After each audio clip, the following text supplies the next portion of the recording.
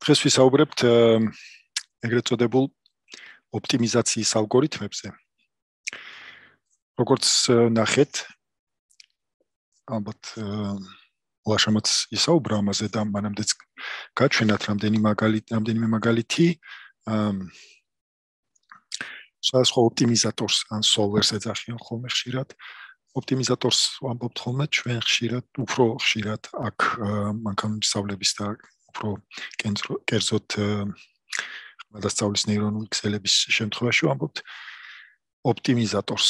ოპტიმიზატორის სხვა სხვა ალგორითმები, სხვა ალგორითმი გამოიყენა, მაგალითად ადამის ოპტიმიზატორი გამოიყენა, რომელიც სახელ ადამთან არავითარ კავშირში არ არის და ამას ცოტა ხანში ვნახავთ.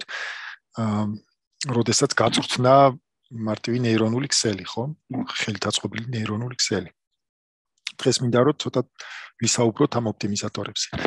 ასევე რეგულარიზაციებზე მინდა ვისაუბროთ, რადგან რეგულარიზაციები ნეირონულ ქსელებში გარდა იმისა, რომ გამოიყენება სტანდარტული რეგულარიზაციები, რომლებიც დანარჩენ მანქანასწავლებაში გამოიყენება, ნეირონულ ქსელებში კიდევ გვაქვს ერთი სპეციალური რეგულარიზაცია, რომელიც აუცილებელია რომ ახსენოთ და აა ინიციალიზაციაზეც ვისაუბრებთ და ნორმალიზაციაზეც. თუ დრო დაგჭირ შეიძლება ბაჩ ნორმალიზაციაზეც ვისაუბროთ. ექსპონენციალური ძრავის საშუალოთი დავიწყოთ. შეიძლება ზოგიერთ თქვენგანს გაუგიას, ზოგიერთ პრაქტიკაშიც გამოუყენებია ექსპონენციალური მოძრავის საშუალო. ერთ ძალიან მნიშვნელოვანი ელემენტია აა სხვა სხვა ამოცანის ამოსახსნელად ყველაზე მეტად ალბათ შეგხვედრიათ თუ დროითი მწკრივების ამოცანებს აკეთებდით და დროითი მწკრივების ამოცანებთან გქონიათ შეხება, შეხება აა ისაუბრეთ ალბათ გამოგიხენებიათ ალბათ ექსპონენციალური მოძრავი საშუალო. ну განხილოს რაღაც მონაცემები. აა y1 y2 და yn აა რომელიც არის ეგრეთ წოდებული პიკები ფუნქციის. ფუნქცია x-დან y-ში სადაც გვაქვს fx1 არის y1 fx2 არის y2 და fxn არის yn ну ანუ ავიღოთ რაღაც შერჩევა ამ ჩვენი ფუნქციის ფუნქციისთვის რა თქმა უნდა განაწილებისთვის მაგრამ გვაქვს ფუნქციური დამოკიდებულება ანუ ნამრავლის განაწილება გვაქვს. ავიღოთ რაღაც შერჩევა x-ების და y-ების შესაბამისად. ანუ x1 x2 xn ამ შერჩევისთვის ვთქვათ რომ ნიშნულობა x1-ზე x2-ზე და xn-ზე ჩვენი ფუნქციის არის y1 y2 და yn და განსაზღვროთ რაღაც ბეტა რომელიც არის 0-დან 1-მდე სეგმენტში მოთავსებული. და განსაზღვროთ ამ ბეტასთვის v1 მნიშვნელობა იყოს 1 - ბეტა y1, v2 მნიშვნელობა იყოს ბეტა v1 + 1 - ბეტა y2 და vn იყოს ბეტა vn - 1 დამატებული 1 - ბეტა yn. ანუ სინამდვილეში ეს ინდუქციურად განისაზღვრება, ხო? ყოველი შემდეგი განისაზღვრება წინამდებარედან. და ნუ თავიდან ძალიან მარტივია, პირდაპირ ვიცით განსაზღვრა და რადგან თავიდან ვიცით განსაზღვრა, შეგვიძლია ბოლომდე ნებისმიერი n-ისთვის განსაზღვროთ, ხო? და თუ n-ისთვის გვაქვს განსაზღვრული, n+1-ისთვის ავტომატურად ინდუქციურად წინას გამოყენებით განისაზღვრება. ეს ჩვენი v1 და vn ნიშნულობები. აა ანუ თვითონ ბეტა და 1 ბეტა, როდესაც 0-დან 1-მდე ვიხევთ ბეტას, თუ ბეტა 0-ია, ცხადია, ეს იქნება უბრალოდ y1, y2 და yn. აა რადგან 1-ზე გამრავლდება, ну აქ 0-ები იქნება, 0-ზე გამრავლდება ამას აა გააბათილებს და აქ თუ 0-ს ჩავსვათ, უბრალოდ ერთი გამრავლდება y1-ზე, ერთი გამრავლდება y2-ზე, ერთი გამრავლდება y1-ზე. თუ ბეტა 1-ია, აი ცხადია გაანულებს, ხო? ადგებადო უბრალოდ გაანულებს ყველაფერს. უბრალოდ v1-დან y2-მდე მისვლას თუ განვიხილავთ, მაშინ ეს ბეტა ცხადია ხვდებით, რომ ცივი ფუნქციაა და მეტი არაფერი, ხო? უბრალოდ მონაკვეთია v1-დან y2-მდე. თუ ბეტას აი ცვლად სავიღებთ, მაშინ ეს მონაკვეთი იქნება v1-დან y2-მდე, ხო? ბეტას თუ გავანულებთ, ეს იქნება y2, უბრალოდ 1, როდესაც არის, ეს იქნება v1, როდესაც 0-ია, იქნება y2. ანუ v და ნუ შუაში გაივლის და რადგან დამოკიდებულება წრფივია, აქ არა გვაქვს არც ხარისხი აყვანილი და არც არაფერი, არც კოსინუსი მოდებული და არც ექსპონენციალური ფუნქცია რა გვაქვს ხადია. ეს იქნება უბრალოდ წრფივი გარდასვლა. წრფივი გარდასვლა, როდესაც გვაქვს დასაწყისი და დასასრული, გვაქვს მონაკვეთს ხო? ანუ მონაკვეთია 1-დან 2-მდე. თუ ბეტას ვცვლით. ამ შემთხვევაში ბეტას ვაფიქსირებთ, ერთ რომელიმე კონკრეტულ მნიშვნელობას ვიღებთ, ბეტასი 0-დან 1-მდე. თუ 0.5-ს ავიღებთ, ცხადია ცენტრებს ავიღებთ, ხო, საშუალოებს ავიღებთ ყოველ შემდეგ ეტაპზე. თუ რაღაც ერთთან ახლოს მივიყვანთ, ცხადია უფრო სხვა მნიშვნელობებს მივიღებთ. თუ ნუ 0-თან ახლოს მივიყვანთ, უფრო განსხვავებულ მნიშვნელობებს მივიღებთ. დავინახოთ ახლა თუ დავაკვირდებით გეომეტრიულად ეს ლექციები ენდრიუენგის წინა ლექციაზე ნახსენები კურსის სპეციალიზაციის უფრო სწორად ხმადასწავლის ნეირონული ქსელების ან deep learning სპეციალიზაციის კურსიდან მაქვს აღებული აქ სურათები და მეტნაკლებად ვცდილობ რომ ამ კურსს მივყვე, იმიტომ რომ ჯერ ერთი რომ კურსი ძალიან მომეწონა. მეორე თვითონ ენდრიუენგი ძალიან კარგი პედაგოგი და კურსი არის თავის თავს მოიცავს. თვითყოფადი ესე ვთქვათ ხო? არ ჭირდება ძალიან ბევრი წინასწარი ცოდნა. თუმცა რაღაც რაღაცები მე დავამატე და აა რაღაც ნაწილი ასე ვთქვათ დავტოვე იმათთვის, ვისაც ნუ მათემატიკური ცოდნა პროგრამა აქვს, შეუძლია ვთქვათ ეს მათემატიკური ცოდნა გამოიყენოს და ამით გადახედოს ხოლმე რაღაც ნაწილებს, რომელიც ნუ წყაროს მითითებული იქნება და იმის მიხედვით შეგიძლიათ პროგრამად გაიგოთ მათემატიკური შინაარსი. თუმცა ეს გეომეტრიულად რო შევხედოთ, ფუნქციაში აი ეს იქნება, როდესაც ბეტა არის რაღაც მნიშვნელობის ეს ეს ჩვენი საკმაოდ გაფანტული მონაცემისთვის რაღაც საშუალოების წირი აიგება, რომელიც ну, კარგ შემთხვევაში შუაში გაივლის ამ ჩვენს გაფანტულ მონაკვეთში, ხო? ну, აქ შეგვიძლია სხვადასხვა მნიშვნელობები განსაზღვროთ, ხო, ბეტასი, როცა ბეტა ახლა ერთთან ძალიან ახლოს არის, მაშინ აცდება, ხო, მნიშვნელობას 0.98. 0.9 მნიშვნელობა 9 შემთხვევაში ძალიან ახლოს მივა, ხო, აქ. ну, ამის ახლა გამოთვლა ძალიან მარტივია, როგორ გავაკეთოთ, ხო? რატო ხდება მაგალითად, როდის დაშორდება სხვა სხვა ბეტაზე სად გაივლის ეს წირი, ხო? ეს ჩვეულებრივად შეგვიძლია ჩასმის ხერხი გამოვიყენოთ, ავიღოთ თქვა ბეტას მნიშვნელობა 0.9 და ან 0.98 და ავიღოთ წინა ბეტას, წინა VT-ს მნიშვნელობა, VT-1-ის მნიშვნელობა და ჩავსვათ ხო? ვიტამინუს 1 ვიტამინუს 2-ით იქნება განსაზღვრული და დავიწყოთ 1-დან ჩავსვათ. რა თქმა უნდა იქ ხარისხოვან ფუნქციას მივიღებთ და თუ გამოთვლით დაახლოებით მივხვდებით რომ ну არის ხათ x ფუნქციას მიუახლოვდებით რაღაც შემთხვევაში. მაგრამ აა მოდი ახლა ეს არ არის ესე გადამწყვეტი და მნიშვნელოვანი. აა მოდი ახლა უბრალოდ როგორც ფაქტი წარმოვიდგინოთ დავიმახსოვროთ რომ ეს არის საშუალოების აღება ამ ჩვენ გაფანტულ მონაცემებში და ბეტა პარამეტრის მიხედვით შეგვიძლია ვარეგულიროთ ეს საშუალოს. აი მაგალითად აქ ხედავთ რომ სხვადასხვა მნიშვნელობებს სხვადასხვანაირად გავდივართ ხო?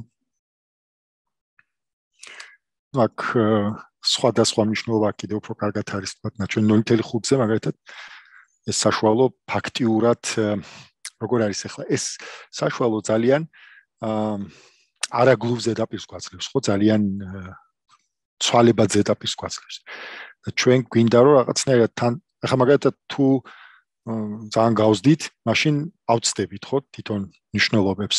ჩვენ გვინდა რომ რაღაც როგორც რეგრესიის შემთხვევაში იყო თუ წფივ რეგრესია რო გავიხსენოთ, გაფანტული იყო მონაცემები, ყველაზე ოპტიმალურ ხასს ვავლებდით ხო? სადღაც გვინდა რომ ყველასთან ახლოს რო იყო ისეთ ხასს ვავლებდით.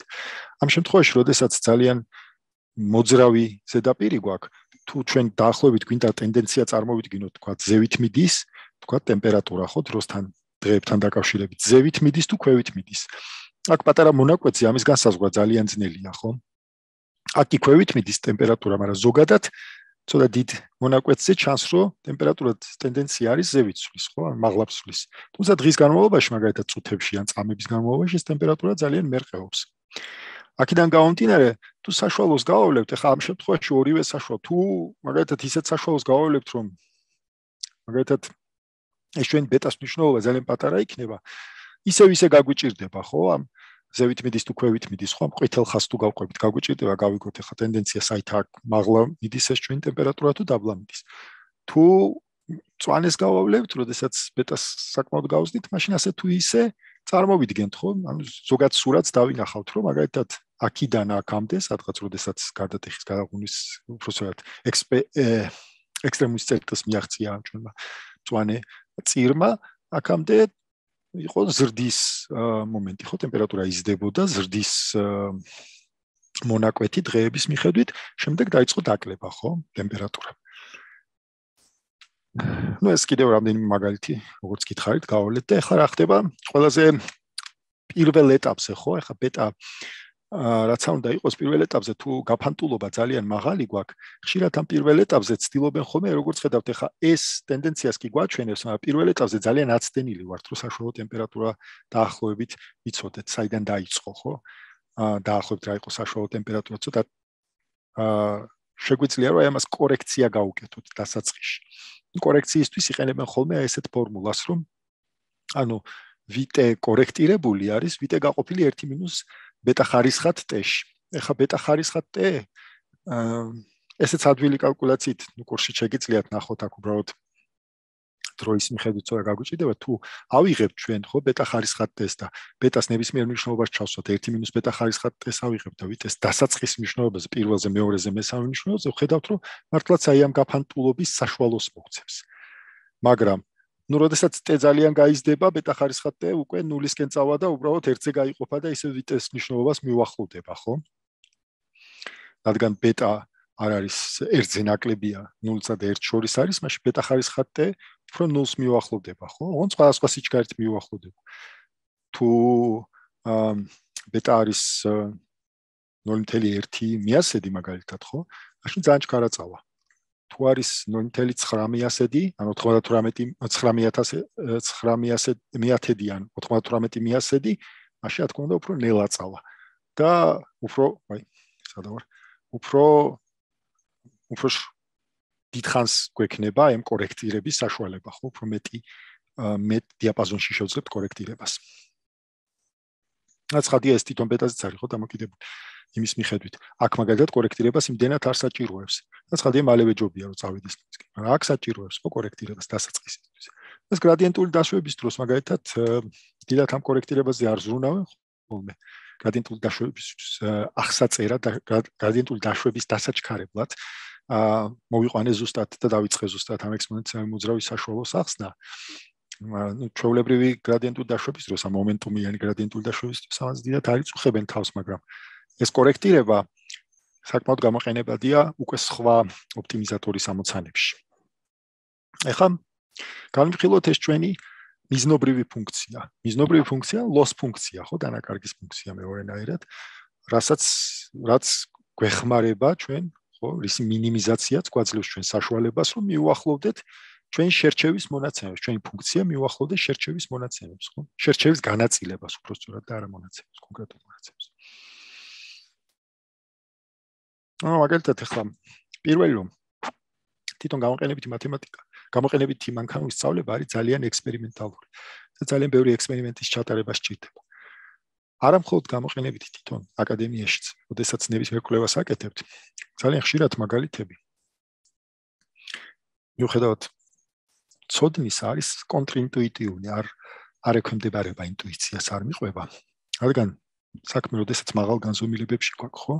ძალიან რთულია ესე ცალსახად განსაზღვრო ან ინტუიცია თავიდანვე კორექტირებული კონდეს იშვიათია ძალიან ხშირად ძალიან ბევრ შემთხვევაში იყო ისეთი რომ ექსპერიმენტმა აჩვენა აბსოლუტურად საწინააღმდეგო რამ რაც სტატიაც კი დაიწერა და რისთვისაც ეს სტატია დაიწერა ექსპერიმენტმა აბსოლუტურად საწინააღმდეგო რამ აჩვენა და უფრო მეტიც რისთვისაც სტატია დაიწერა იმისთვისაც ინამდვილად ჩვენა მაგრამ გრით შემთხვევებში უფრო კარგი შედეგი აჩვენა რომელისთვის რომელიც საერთოდ არ იყო გათვალისწინებული და გააზრებულიც არ იყო ამ სტატიაში.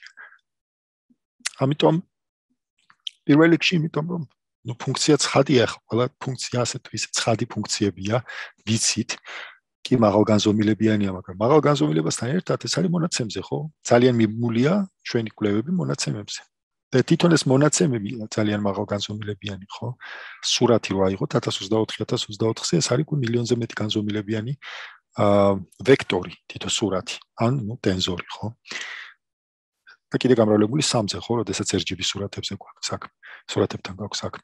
არის შემთხვევები, როდესაც უფრო ბევრშრიანი სურათი გვაქვს სამედიცინო სურათები, რომელიც არა მხოლოდ RGB, არამედ ბევრი შრე აქვს. შემოვალ პირველივე სურათსაც. მერე და მერე ეს შრეების განზომილება შეიძლება კიდევ უფრო გაიზარდოს. ანალოგიურად ტექსტიც ხო, თითოეული სიტყვის ვექტორი შეიძლება იყოს 300 განზომილებიანი. და წინადადებაში კიდევ ამ ტექსტში, მთლიან ტექსტში შეიძლება რამდენიმე ათეულიც კი იყოს ესეთი. სამას განზომილებიანი სიტყვის ვექტორი. აა გრაფში თითოეული გრაფის თითოეული წვერო შეიძლება იყოს ძალიან მაღალ განზომილებიანი, მაგალითად 1000 განზომილებიანი, 600 განზომილებიანი, ან ჩემ შემთხვევაში 600-დან 300 განზომილებიან გრაფებზე მუშაობ და ამ გრაფებს კიდევ ერთმანეთთან თითოეულ წვეროს კიდევ აქვს წიბო ხო ერთმანეთთან კავშირი აქვს ხო? წახნაგი, წახნაგი და წიბოა წვეროთან. უნდა შეიძლება კა node და edge რასაც ქვია.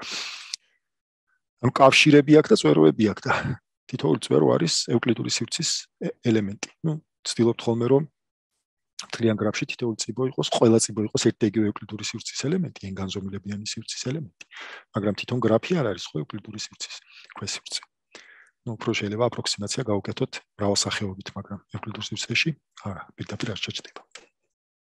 აქედან გამომდინარე, შესაძაც მაღალ განზომილებებთან აქვს საქმე და მონაცემების ცხადი ერთგვაროვანი არ არის და ერთ მონაცემზე რაღაც კარგად ხდება, ერთი მონაცემების ჯგუფს ერთ დომენზე ესე ვთქვათ, რო კარგად ხდება, შერჩევა სწავლობს, მე კარგად ზოგადდება, აბსოლუტურად სხვა დომენზე, ანუ სხვა მონაცემებზე, სხვა პოპულაციაზე, ესე ვთქვათ, შეჩევა უკვე სხვანაირად იქცევა. და აა ეს გვიშლის ხელს რო სასახა ესეთი ინტუიცია გქონდეს და უამრავი ექსპერიმენტის ჩატარება აუცილებელია ხო. ეს ჩემ გამოცდილების გაზიარებაც არის და თქვენ ალბათ ამ გამოცდილებას აგროვებთ თქვენ თვითონაც ხო? აა მეორე მხრივ თვითონ მოდელს ხო რომ ისწავლოს. დიდი მონაცემია ხა დიდი მონაცემიც ფარდობით იცნებაა ხო დიდი მონაცემი 2010-ში რაც დიდი მონაცემი მეგონა და მე რომ მუშაობდი ეს იყო თქვა რამდენიმე მილიარდი ჩანაწერი რამდენიმე ათეული მილიარდი ჩანაწერი დღეში. ეს რამდენიმე განზომილებიანი იყო თქვა ასეულ განზომილებიანი.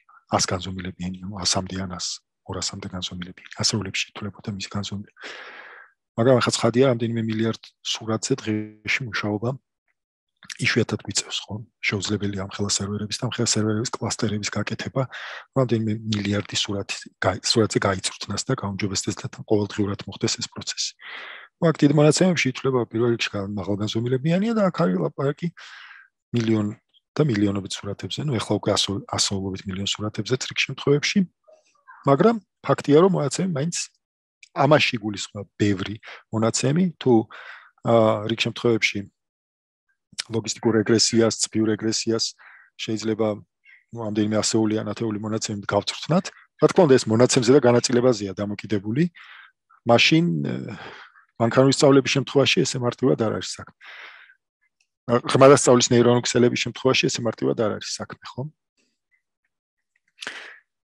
აქ ასეული და ათეული მონაცემი 0-დან გაწვრთნისთვის ან აბსოლუტურად გაუწვრთნელი ქსელის გაწვრთნის საკმარისი არ არის. შეიძლება ასეული სულად საკმარისი იყოს გადასწავლისთვის, რომელზეც შემდეგ ვისაუბრებთ, მაგრამ 0-დან გაწვრთნისთვის საკმარისი არ არის. ამიტომ გჭირდება ბევრი, რადგან კონტრიტუიტიულია, ну თუ გვაქვს ვთქვათ აა 100000 მაგალითი ან მილიონი მაგალითი და თვითონ ნეირონული ქსელიც საკმაოდ კომპიუტერულად ძალიან ინტენსიურ გამოთვლებს გულისხმობს, ანუ ძალიან ძიმია, ასე ვთქვათ, გამოთვლების თვალსაზრისით. მეხსიერებასაც დიდ ციკავებს. ხო, როდესაც რამდენიმე ათეული ან ასეული შრიანია და აღალაპარაკობ უფრო მეცე მილიონზე და მილიარდ პარამეტრზე, ან თითოეულ შრეში კიდევ ასევე რამდენიმე ასეული ან ათასი ნეირონია, ხო? ეს მეხსიერებაში უნდა მოთავსდეს, აი ტვირთოს ასევე მონაცემებმაც უნდა გაიაროს ხო? მთელი ეს და მე უფრო მეტი დაიმახსოვროს თითოეული გრადიენტის მნიშვნელობა ხო? თითოეული კერძო წარმოებულის მნიშვნელობა დათვალოს გრადიენტი და გააკეთოს გრადიენტული დაშლა. აქედან გამომდინარე თუ აქამდე მანქანური სწავლების მოდელებში და ძალიან მე ბიბლიოთეკაში მაგალითად scikit learn-ის კლასიკურ ბიბლიოთეკაში თუ რაიმე დანამატში არ გავახოთ მე მგონი ცალსახად ესე ნინიმ პორციების ხარდაჭერა არ არის იგულისხმება მთლიან მონაცემს ვაძლევთ რამდენიმე იტერაციით ვასწავლით და შემდეგ ვიყენებთ უკვე დაკვირვებისთვის ან ევალუაციას ვაკეთებთ. დაკვირვებას ვაკეთებთ. თუმცა ნეირონქსელში ესე რომ თლიანად ყველა მონაცემი მივცეთ დასასწავლად, თელი შერჩევა მივცეთ დასასწავლად. ხო შერჩევა არის ეს ჩვენი ტრეინინგ სეტი. სტატისტიკაში არის პოპულაცია, თლიანი მონაცემები, რაზეც უნდა იმუშაოს.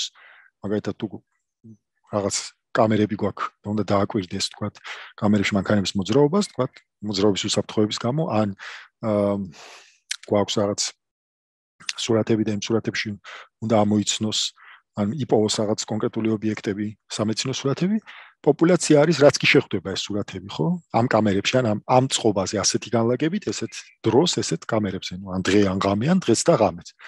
ხო, შერჩევა არის ის ჩვენი რაღაც რეპრეზენტაციული მონაცემები, რეპრეზენტაციული ნიშნავს, რომ მეტნაკლებად გათვალისწინებული იყოს ყველა შემთხვევა. რაზე ჩვენ წვრთნით? ეგრეთ წოდებული საწვრთნელი მონაცემები. ამ შერჩევის განაწილების მიხედვით ვცდილობთ, რომ მე განზოგადდეს ეს პოპულაციის განაწილებას.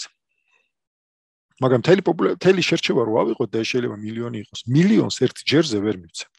გაუშვას დაშვალ დათვალოს მიზნობრივი ფუნქცია თავის საშუალოთი ხო? ამ თითეული თითეული ფუნქციის საშუალოა, თითეული დანაკარგის ფუნქცია, loss ფუნქციის საშუალო გამოთვალოს, ანუ ეს გასაშუალებელი მიზნობრივი ფუნქცია იყოს, დათვალოს მე გრადიენტი გააკეთოს დაშვება, შემდეგ შემდეგ იტერაცია, მეორე იტერაციაზე გააკეთოს და ასე შემდეგ. ეს შეუძლებელი არ ჩაეტევა არც ერთი, არც რამდენიმე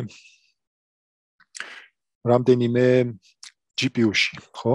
ეს GPU-ში იგულისხმება graphical processing unit, ანუ გრაფიკულ გრაფიკულ პროცესორში. ძირითადად ნეირონული ქსელი გრაფიკულ პროცესორში იწვნება, თუ სხვა შემთხვევაში ძალიან ნელა იწვრთნება. შეიძლება ჩვეულებრივ პროცესორ ცენტრალურ პროცესორზეც გავწვნათ, მაგრამ წვნის პროცესი იმდენად ნელია, თქვენ წარმოიდგინეთ ექსპერიმენტებზე რატომ ვისაუბროთ, წარმოიდგინეთ 10 ექსპერიმენტის ჩატარება რო გიწევთ საათში. თუ ძალიან ნელია პროცესი და გაწვნის დროს დაკვირვება გიწევთ, ხო, თქვა ერთი გრადიენტული დაშვების ან ერთი ეპოქის ეპოქაში იგულისხმება თელ მონაცემებს რო გაივლისთ, თქვა ერთი იტერაციის მოდი ესე ვთქვა დღეს ჯერ. წარმოიდგინეთ ახლა ეს რო თითო რო საათში 10-ის მაგივრად რამდენიმე საათში ერთს აკეთებთ, ხო? მაშინ დღის განმავლობაში სულ თითზე ჩამოსათვლელ ორ ან სამ ექსპერიმენტ ჩაატარებთ. ან შეიძლება ერთიც ვერ ჩაატაროთ თელი დღის განმავლობაში. და ის ამოცანა რომელიც კვირებში უნდა გადაგეჭრათ, გადაიჭრება თვეებში უკვე, ან წლებში. ცხადია ეს არ არის აა სასურველი, ხო? ეხლა წარმოვიდგინოთ, რომ ამიტომ ამიტომ ჩვენ რაღაცნაირად ხო ეხლა რადგან გრაფიკულ პროცესორებზე მუშაობთ, იმას მეხსიერების შეზღუდვა აქვს, ხო? რადგან მეხსიერების თუნდაც დისტრიბუციულად როდესაც ვასწავლით, ხო, იქაც არის შეზღუდვა, ხო, შეიძლება 100000 გრაფიკული პროცესორი ძვირია, უბრალოდ რომ კონდეთ და არც ესეთი ოპტიმალური ამოცანი, ოპტიმალური ალგორითმებია, რომ ეს დისტრიბუციულად ამდენ გრაფიკულ პროცესორზე ასწავლოს, ამიტომ იქ მეხსიერების შეზღუდვა პრობლემა. იმის მაგივრად რომ რადგან თიან თლიან მონაცემს ვერ მოვათავსებთ მეხსიერებაში, ამიტომ ვაკეთებთ ამ მონაცემების დაჭრას შემთხვევითად შემთხვევით შემთხვევითად დაჭრას ერთ და იგივე რაოდენობის პორციებად. მაგალითად, ავიღებთ თელმონაცემებს, ავჩეხავთ ესე ვთქვათ, ხო? შემთხვევითად აურევთ ერთმანეთში და დავჭრით თუ გვაქვს მილიონები 64-64 პორციად, ხო? ან 128-128 პორციად. ნუ სასურველია თვითონ კომპიუტერის არქიტექტურიდან გამომდინარე ორი ხარისხებად დავჭრათ. და თუ ჩვეულებრივი გრადიენტული დაშვებისას თუნდაც კვადრატული აა მიზნობრივი ფუნქცია როდესაც გქონდა, ჩვეულებრივი დასწავლის პროცესში გრადიენტული დაშვებისას ასე თუ ისე აი გლუვათ მიდის, ხო? დაშვების პროცესი, როდესაც მithumetes კვადრატული მიზნობრივი ფუნქცია გვაქვს, ხო, კვადრატული ამოზნექილი ფუნქცია, აქედან გამომდინარე დაშვება საკმაოდ ესეთი გლუვი იქნება, ხო, თლიან მონაცემებზე სწავლებისთვის. თუ უკვე მინი პორციებზე გადავალთ, ანუ აქ რა თქმა უნდა ხა გვაქვს პლატო, აქაც არის თავის პრობლემები თუ პლატოზე მოხდა თუ როდესაც კვადრატულთან არა გვაქვს საქმე პლატოა აქ გრადიენტი მცირდება ძალიან ну თითქმის 0 ხდება ან 0 ხდება თუ პლატო აბსოლუტურად თუ გლობალური მინიმუმია ლოკალური მინიმუმია როდესაც მინი პორციებად დავყოფთ და არა მთლიან პორციას მიცემთ ხო მთლიან მონაცემს მინი პორციების შემთხვევაში რა თქმა უნდა ძალიან ბევრი აი ესეთი აა ცვლილებები გვექნება ხო ვარიაციები გვექნება ну რატო გვექნება ეს თუ გავიხსენებთ თვითონ მანქანის სწავლების თავარი იდეას გრადიენტული დაშვების უბრალოდ როგორ ვასწავლით? ჩვენ თვლით რომ პარამეტრები არის ცვლადები ხო? ხო ჩვენი შერჩევა არის სტატისტიკური მონაცემები ხო? სტატიკური მონაცემები ანუ არ არის ცვლადები. ამიტომ ჩვენ თვლით რომ ჩვენი ფუნქცია იქნება ეს ნეირონული ქსელი ლოგისტიკური რეგრესია ცფივი რეგრესია ჩვენ თვლით რომ პარამეტრების მიმართ არის ხო? ან თქვა პარამეტრების და გადახრების მიმართ ხო ბაიასების მიმართ არის ფუნქცია, ან წონების და გადახრების მიმართ არის ფუნქცია და არა x-ის მიმართ, შერჩევის მიმართ, ხო? ან ჩვენ ეგრეთ წოდებული სასწავლო მონაცემ ტრეინინგ სეტის მიმართ. და ну თვლით მიზნობრივ ფუნქციას და ვიღებ თლიან ჩვენ შერჩევას, თელ ჩვენ მონაცემებს და ამის საშუალოს თვლით. ანუ ფუნქცია ეს ჩვენი შეცდომის ფუნქცია, ჩვენი მიზნობრივი ფუნქცია არის პარამეტრების პარამეტრების მიმართ ფუნქცია და არა ცვლადების მიმართ ფუნქცია. ანუ ჩვენი თითეული loss ფუნქცია, ეგრეთ წოდებული დანაკარგის ფუნქცია საშუალოს ვითვლიდით ეს კარგად უნდა გაიაზროთ ეს პარამეტრები სულ ყველა ერთად გაისაზღვრება ამ ფუნქციაში ფუნქციაში მონაწილეობს ყველა პარამეტრი აბსოლუტურად. ხო ჩვენ ხო ავიყებდით თითეულისთვის ფუნქციას გაუშვებდით, თქვა y-დან რა შორს იყო შესაბამის მიზნობრივ ცვლადთან labels, რასაც ეძახიან ხო მიზნობრივ ცვლადთან რა რამდენად შორს იყო ამას თვლიდით ხო? ну კვადრატული დაშორებით ხო? სხვაობის კვადრატით მაგალითად. მაგრამ ამას ყველა მონაცემისთვის ვაკეთებდით და მე ვასაშუალოებდით ხო ამ კვადრატულ ფუნქციას. რატო ვასაშუალოებთ, რატო ვაკეთებთ ყველა მონაცემისთვის ვასაშუალოებთ? იმიტომ რომ ყველა მონაცემი უნდა მონაწილეობდეს ფუნქციაში და რომ ყველა მონაცემი არის სტატიკური. მაგრამ მინი პორციების შემთხვევაში ყველა მონაცემი ერთ პორციაშია, ხო? ყველა მონაცემის ქვეშ იგულისხმება ერთ პორციაში არსებული მონაცემი. და პორციები იცვლება, ანუ ჩვენი ფუნქცია თვითონ იცვლება, სხვა სხვა ფუნქციაა სინამდვილეში. კი ვცდილობთ, რომ მინი პორციები, ანუ მინი ბაჩები იყოს ასე თუ ისე შემთხვევითი შერჩევით გავსი მონაცემები იყოს შერჩეული, მაგრამ ცხადი არ არის განაწილება ისეთი ჩვენი მონაცემების, რომ ამ მინი ბაჩში აა ისეთი ნაწილი მოხდეს, რომელიც თლიანი თლიანი ბაჩის, ანუ თლიანი პორციის თლიანი შერჩევის ერთ-ერთზე რეპრეზენტაციაა, ხო, ერთ-ერთზე მცირე რეპრეზენტაცია. ძალიან ხშირად, მაგალითად, თუ გვაქვს image.net-ის მონაცემები, სადაც 1000 კლასია, შეიძლება ჩვენ mini-batch საერთოდ არ მოხდეს ხო 64-ში. დიდი ალბათობით არ მოხდება ხო? დიდი ალბათობით კი აუცილებლად არ მოხდება ყველა კლასი ხო 64-ში ვერ შეეტევა 1000. 1000 სხვადასხვა ობიექტი უნდა მოიცნოს სურათზე ხო? 64-იანი mini-batch-ი არაფერ არ მოხდება, mini-პორციაში არაფერ არ მოხდება 1000-ი ხო? ამიტომ სხვადასხვა სხვადასხვა მიზნობრივი ცვლადის ფუნქციები მოხდება შეკით ხო? სხვადასხვა მიზნობრივი მიზნობრივი ცვლადი ერთგან ძაღლი კატა და ადამიანი რაღაც მოხდება ესეთი გემი მეორეგან შეიძლება აბსოლუტურად სხვა რაღაც მოხდეს ხო ენოტი და თქვა ხე და სახლი აქედან გამომდინარე ეს გამოიწვევს რა თქმა უნდა ამ ჩვენი მიზნობრივი ფუნქციის ზედაპირის ძალიან ცუდ თვითონ მიზნობრივი ფუნქციის ვარიაციას. ზუსტად ეს არის ხმაურიანი ზედაპირი აქ. ხო ესე უხეშად რო თქვა არა მათემატიკურად. და ცხადია ამ დროს გრადიენტული დაშვება აქ თუ ასე თუ ისე მაინც გლუვად მიდიოდა ამ შემთხვევაში გრადიენტული დაშვება ზუსტად იმ ტემპერატურის სავით აქ თუ მინიმუმისკენ მიდის აქ რაღაც ლოკალურ ექსტრემუმს მიაღწევს ხოლმე ზევითავა მე ისე ლოკალურ ექსტრემუმს ნუ ეს ორგანზომილებაში მრავალგანზომილებაში ლოკალურ ექსტრემუმს არ მიაღწევს მაგრამ სულ უნაგირა წერტილებზე გაჩერდება და თვითონ გრადიენტული დაშვებაც ხო ესეც ესე სწორად არ წამოვა გრადიენტული დაშვება ისიც ასევე იხტუნავებს ესე ვთქვა იხტუნებს სხვადასხვა მიმართულებით აქ ახლა ეს ფუნქციის პროექცია რო გავაკეთოთ, ხო? ორგანზომილებიანი ფუნქციის, ხო, სინამდვილეში ეს კვადრატულ ფუნქციას გავს, ხო? თვათ ერთ-ერთი არა, მაგრამ როგორ არის ახლა რაც უფრო ვიწრო არგოლი, მით უფრო ექსტრემ მინიმუმის მინიმუმისკენ მივდივართ, რაც უფრო ფართი არგოლი, ეს არის პროექცია, ხო, ჩვეულებრივი აა ორგანზომილებიანი სამგანზომილებიანი პარაბოლის პროექცია ორგანზომილებაში. და უბრალოდ ამ პროექციაში რაღაცნაირად ვინახავთ ინფორმაციას დაშვების მიმართ მესამე განზომილებას სხვა ფერებით აღნიშნოთ, ხო? აქ რო წარმოვიდგინოთ გრადიენტული დაშვება, რადგან მინი მინი პორციებთან გვაქვს საქმე, ხო? ესეთი ხმაურით ჩავა, არა პირდაპირ მაგალითად დაბლობისკენ დაეშვება. ეს იგივე ხა თიდაროეშვებით, მაგრამ ძალიან ბევრი დაბკოლება ხდება და ცდილობთ ამ დაბკოლებას ან გადაუაროთ ზევით ახვიდეთ, ჩამოხვიდეთ, ვიდრე თქვა ჩვეულებრივად როდესაც ეშვებოდით, ხო? აა პირდაპირ გლუვად როდესაც ეშვებით, მაგალითად სათხილამურო გზაზე. ბილექსიან პირდაპირ დაღმართზე. და ეხლა ჩვენ გვინდა რომ ეს დაშვება, აი ეს მოძრაობა, ზედმეტი მოძრაობა, რაც შეიძლება ავირიდოთ თავიდან. გარდა იმისა, რომ ფუნქცია თვითონ აა მიზნობრივი ფუნქცია, როდესაც არის საშუალო კვადრატული გადახრა, ამ შემთხვევაში გვაქვს ამოზნექილი ზედაპირი, მაგრამ მინი პორციების შემთხვევაში ეგეც კი არა გვაქვს ხო ამოზნექილი ზედაპირი, არ გვაქვს საშუალო კვადრატული გადახრა. გარდახრაში, მაგრამ როდესაც ჩვენ გვაქვს ახლა softmax ფუნქცია, რომელიც ნუ აი ესე განისაზღვრება და აა დაგლუების ფუნქცია ბოლო ეტაპზე არის softmax-ი, უშერბილებული მაქსიმუმი და აა entropia არის ჩვენი დანაკარგის ფუნქცია. აშ ჩვენი მიზნობრივი ფუნქცია, ხო? აშ ჩვენი მიზნობრივი ფუნქცია არც ისე უკვე ლოგარითმული ფუნქციაა და არც ისე კარგად არის საქმე, როგორც ვთქვა, კვადრატულ გადახრაში, როდესაც კვადრატულ ფუნქციაზე გქონდა საქმე. მაგრამ ჩვენ აუცილებლად შეგვხვდება ისეთი შემთხვევები, როდესაც არა მხოლოდ ერთი მიზნობრივი ფუნქცია, ანუ ჩვენი მიზნობრივი ფუნქცია რამდენიმე მიზნობრივი ფუნქციის კომბინაციაა. შეიძლება წონადი ჯამი იყოს, ამ უბრალოდ ჯამი იყოს რამდენიმე მიზნობრივი ფუნქციის და ჩვენ გრადიენტული დაშვების დროს ვცდილობთ, რომ სულ ყველა ეს მიზნობრივი ფუნქცია, რაც შეიძლება შევამციროთ, ხო? ან ჩვენ დანაკარგი რაც შეიძლება ცირე იყოს, ხო? დავუახლოთ, რაც შეიძლება მიზნობრივი ბევრნაირ ცვლაც.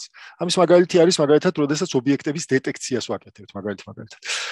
როდესაც ობიექტის დეტექციას ვაკეთებთ, ჩვენ გვინდა რომ ჯერ ამოვიცნოთ რა გარდა იმისა რომ ამოვიცნოთ არის თუ არა მაგალითად სურათზე ადამიანი. ასე ვიპოვოთ სად არის სურათზე ადამიანი. ვიპოვოთ რას ნიშნავს? ერთი თუ კლასიფიკაცია არის ადამიანი არ არის ადამიანი კლასიფიკაციის ამოცანა. ამასთან ერთად ჩვენ გვინდა რეგრესია, რომ მაგალითად ის 4 წერტილი ვიპოვოთ, რომელიც მაგალითად ამ ამ ადამიანის ამ ადამიანის ჩასვავს მაგალითად შემოხაზავს ამ ადამიანის გარშემო ოთხკუთხედს, ხო? ანუ 4 წერტილი კიდევ კლასიფიკაცია არ არის, უკვე რეგრესია, ხო ის ყველგან შეიძლება ეს წერტილები იყოს, ხო? 4 წერტილის მოდ განზომილებიანი რეგრესია, 4 განზომილებიანი მიზნობრივი ცვლადი აქვს, ხო, ამ რეგრესიას. აა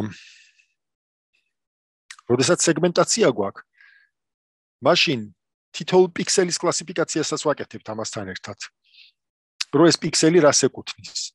და თან აქ ბევრი კლასი გვაქვს, ბევრი სხვადასხვა კლასი გვაქვს. ეს პიქსელი ეკუთვნის თუ არა ადამიანს სურათში, ხო, თითოეული კოორდინატი ეკუთვნის თუ არა ადამიანს, მაგალითად, ან ეკუთვნის სხვა არსებას, ხო, მაგალითად, ადამიანი ძაღლიან კატაერთად, ამოვიცნოთ და ვიპოვოთ კიდეც. აი, ხარი მაგალითად, მაგალითად, ეს არის სემანტიკური სეგმენტაცია, სადაც თითოეული პიქსელის კლასიფიკაცია კეთდება. ეს არის კლასიფიკაცია და ლოკალიზაცია, როდესაც სურათს ერთი ობიექტის პოვნა გვინდა, არა, ბევრი, არამედ ერთი ობიექტის პოვნა გვინდა. აქ არის კლასიფიკაციის მიზნობრივი ფუნქცია, კლასიფიკაციის, ხო? და პლუს ლოკალიზაციის რეგრესია. რო ეს 4 წერტილი, ну, 2 წერტილი თქვა დიაგონალზე, 2 წერტილი ნიშნავს 4-ში პოვით, ხო? უნდა ვიპოვოთ. რეგრესიით უნდა მიუახლოვდეთ, ხო? მესამე, როდესაც გვაქვს ობიექტების დეტექცია, ну, რამდენიმე ძაღლია და კატაა და ну, ესენი უნდა ვიპოვოთ სულ ყველა. ამ შემთხვევაში გვაქვს რამდენიმე კლასიფიკაცია, რამდენიმე კლასიანი კლასიფიკაცია, ну, გაჩნია თვითონ არქიტექტურას ასევე რამდენიმე თავი აქვს ხოლმე. პლუს გვაქვს რეგრესია, ხო? და როდესაც არის თითეული კონკრეტული მაგალითი სემანტიკური სეგმენტაცია. არა სემანტიკური სეგმენტაცია, რომ სადაც კატებია ის სხვაფერად შეღებოს, ანუ ის პიქსელების კლასიფიკაცია გააკეთოს, რომელიც კატას ეკუთვნის, არამედ განასხვაოს, რომელ კატას და რომელ ძაღლს ეკუთვნის. ანუ თან დეტექცია გააკეთოს. თან თითოეული პიქსელის კლასიფიკაცია გააკეთოს. ну ცხადია ხა ამ შემთხვევაში ხო აი მაგალითად ეს არის მაგალითად კლასიფიკაცია ბუშტი გვაქვს არ გვაქვს სემანტიკური სეგმენტაცია ყველა ბუშტი ერთფერად არის შეღებილი თითოეული პიქსელი არის კლასიფიცირებული და ლურჯად ნუ შეიღება რომელიც ეკუთვნის ბუშტს ობიექტების დეტექცია აი რამდენი ბუშტია დეტექცია ხშირად როდესაც ეს ორი ობიექტი ერთმანეთს გადაფარავს ხოლმე ამ დროს ართულია და სეგმენტაცია თითოეული მონაცემის სეგმენტაცია ინსტანს როგორ თქვა სეგმენტაცია არა მხოლოდ სემანტიკური, არამედ განასხვაოს კიდეც რომ ეს სხვადასხვა ბუშტია. თითოეული პიქსელის კლასიფიკაცია კი გააკეთოს რომ ეს ბუშტს ეკუთვნის ეს პიქსელი, მაგრამ თან განასხვაოს ამ სხვადასხვა ფერად შეღებოს ეს ბუშტები, ხო, განასხვაოს რომ ეს სხვა ბუშტია, ეს სხვა ბუშტია, ეს სხვა ბუშტია, ეს სხვა ბუშტია. ნუ ამას ხშირად ობიექტის დეტექციას და სეგმენტაციის ერთად ტანდემში აკეთებს ხოლმე ეს ესეთ ამოცანებს. აი, კარი მაგალითი აა პედესტრიან SSD 300, ანუ პედესტრიან არის ფეხით მოსიარულეები უნდა იყოს და ფუნქცია არის SSD, single shot detection ესე რქვა, ესეთი არქიტექტურა, რომელსაც გავივლით, როდესაც ობიექტების დეტექციის არქიტექტურებზე გავივლით კომპიუტერულ ხედვაში. აა და ხედავთ, რომ აი ეს პროექცია არის, რა თქმა უნდა, ეს ხო სამ განზომილებაში რამდენად აა ხმაურიანი, რამდენად არა არა გლუვი ზედაპირი აქვს ხო ამ ჩვენს მიზნობრივ ფუნქციას და აქ ხა გრადიენტული დაშვება წარმოიდგინეთ რამდენი უნდა იაროს ხო? რამდენი დაბრკოლება შეხვდება გრადიენტს? ეს უპირდაპირ გრადიენტული დაშვება გავაკეთოთ ხო?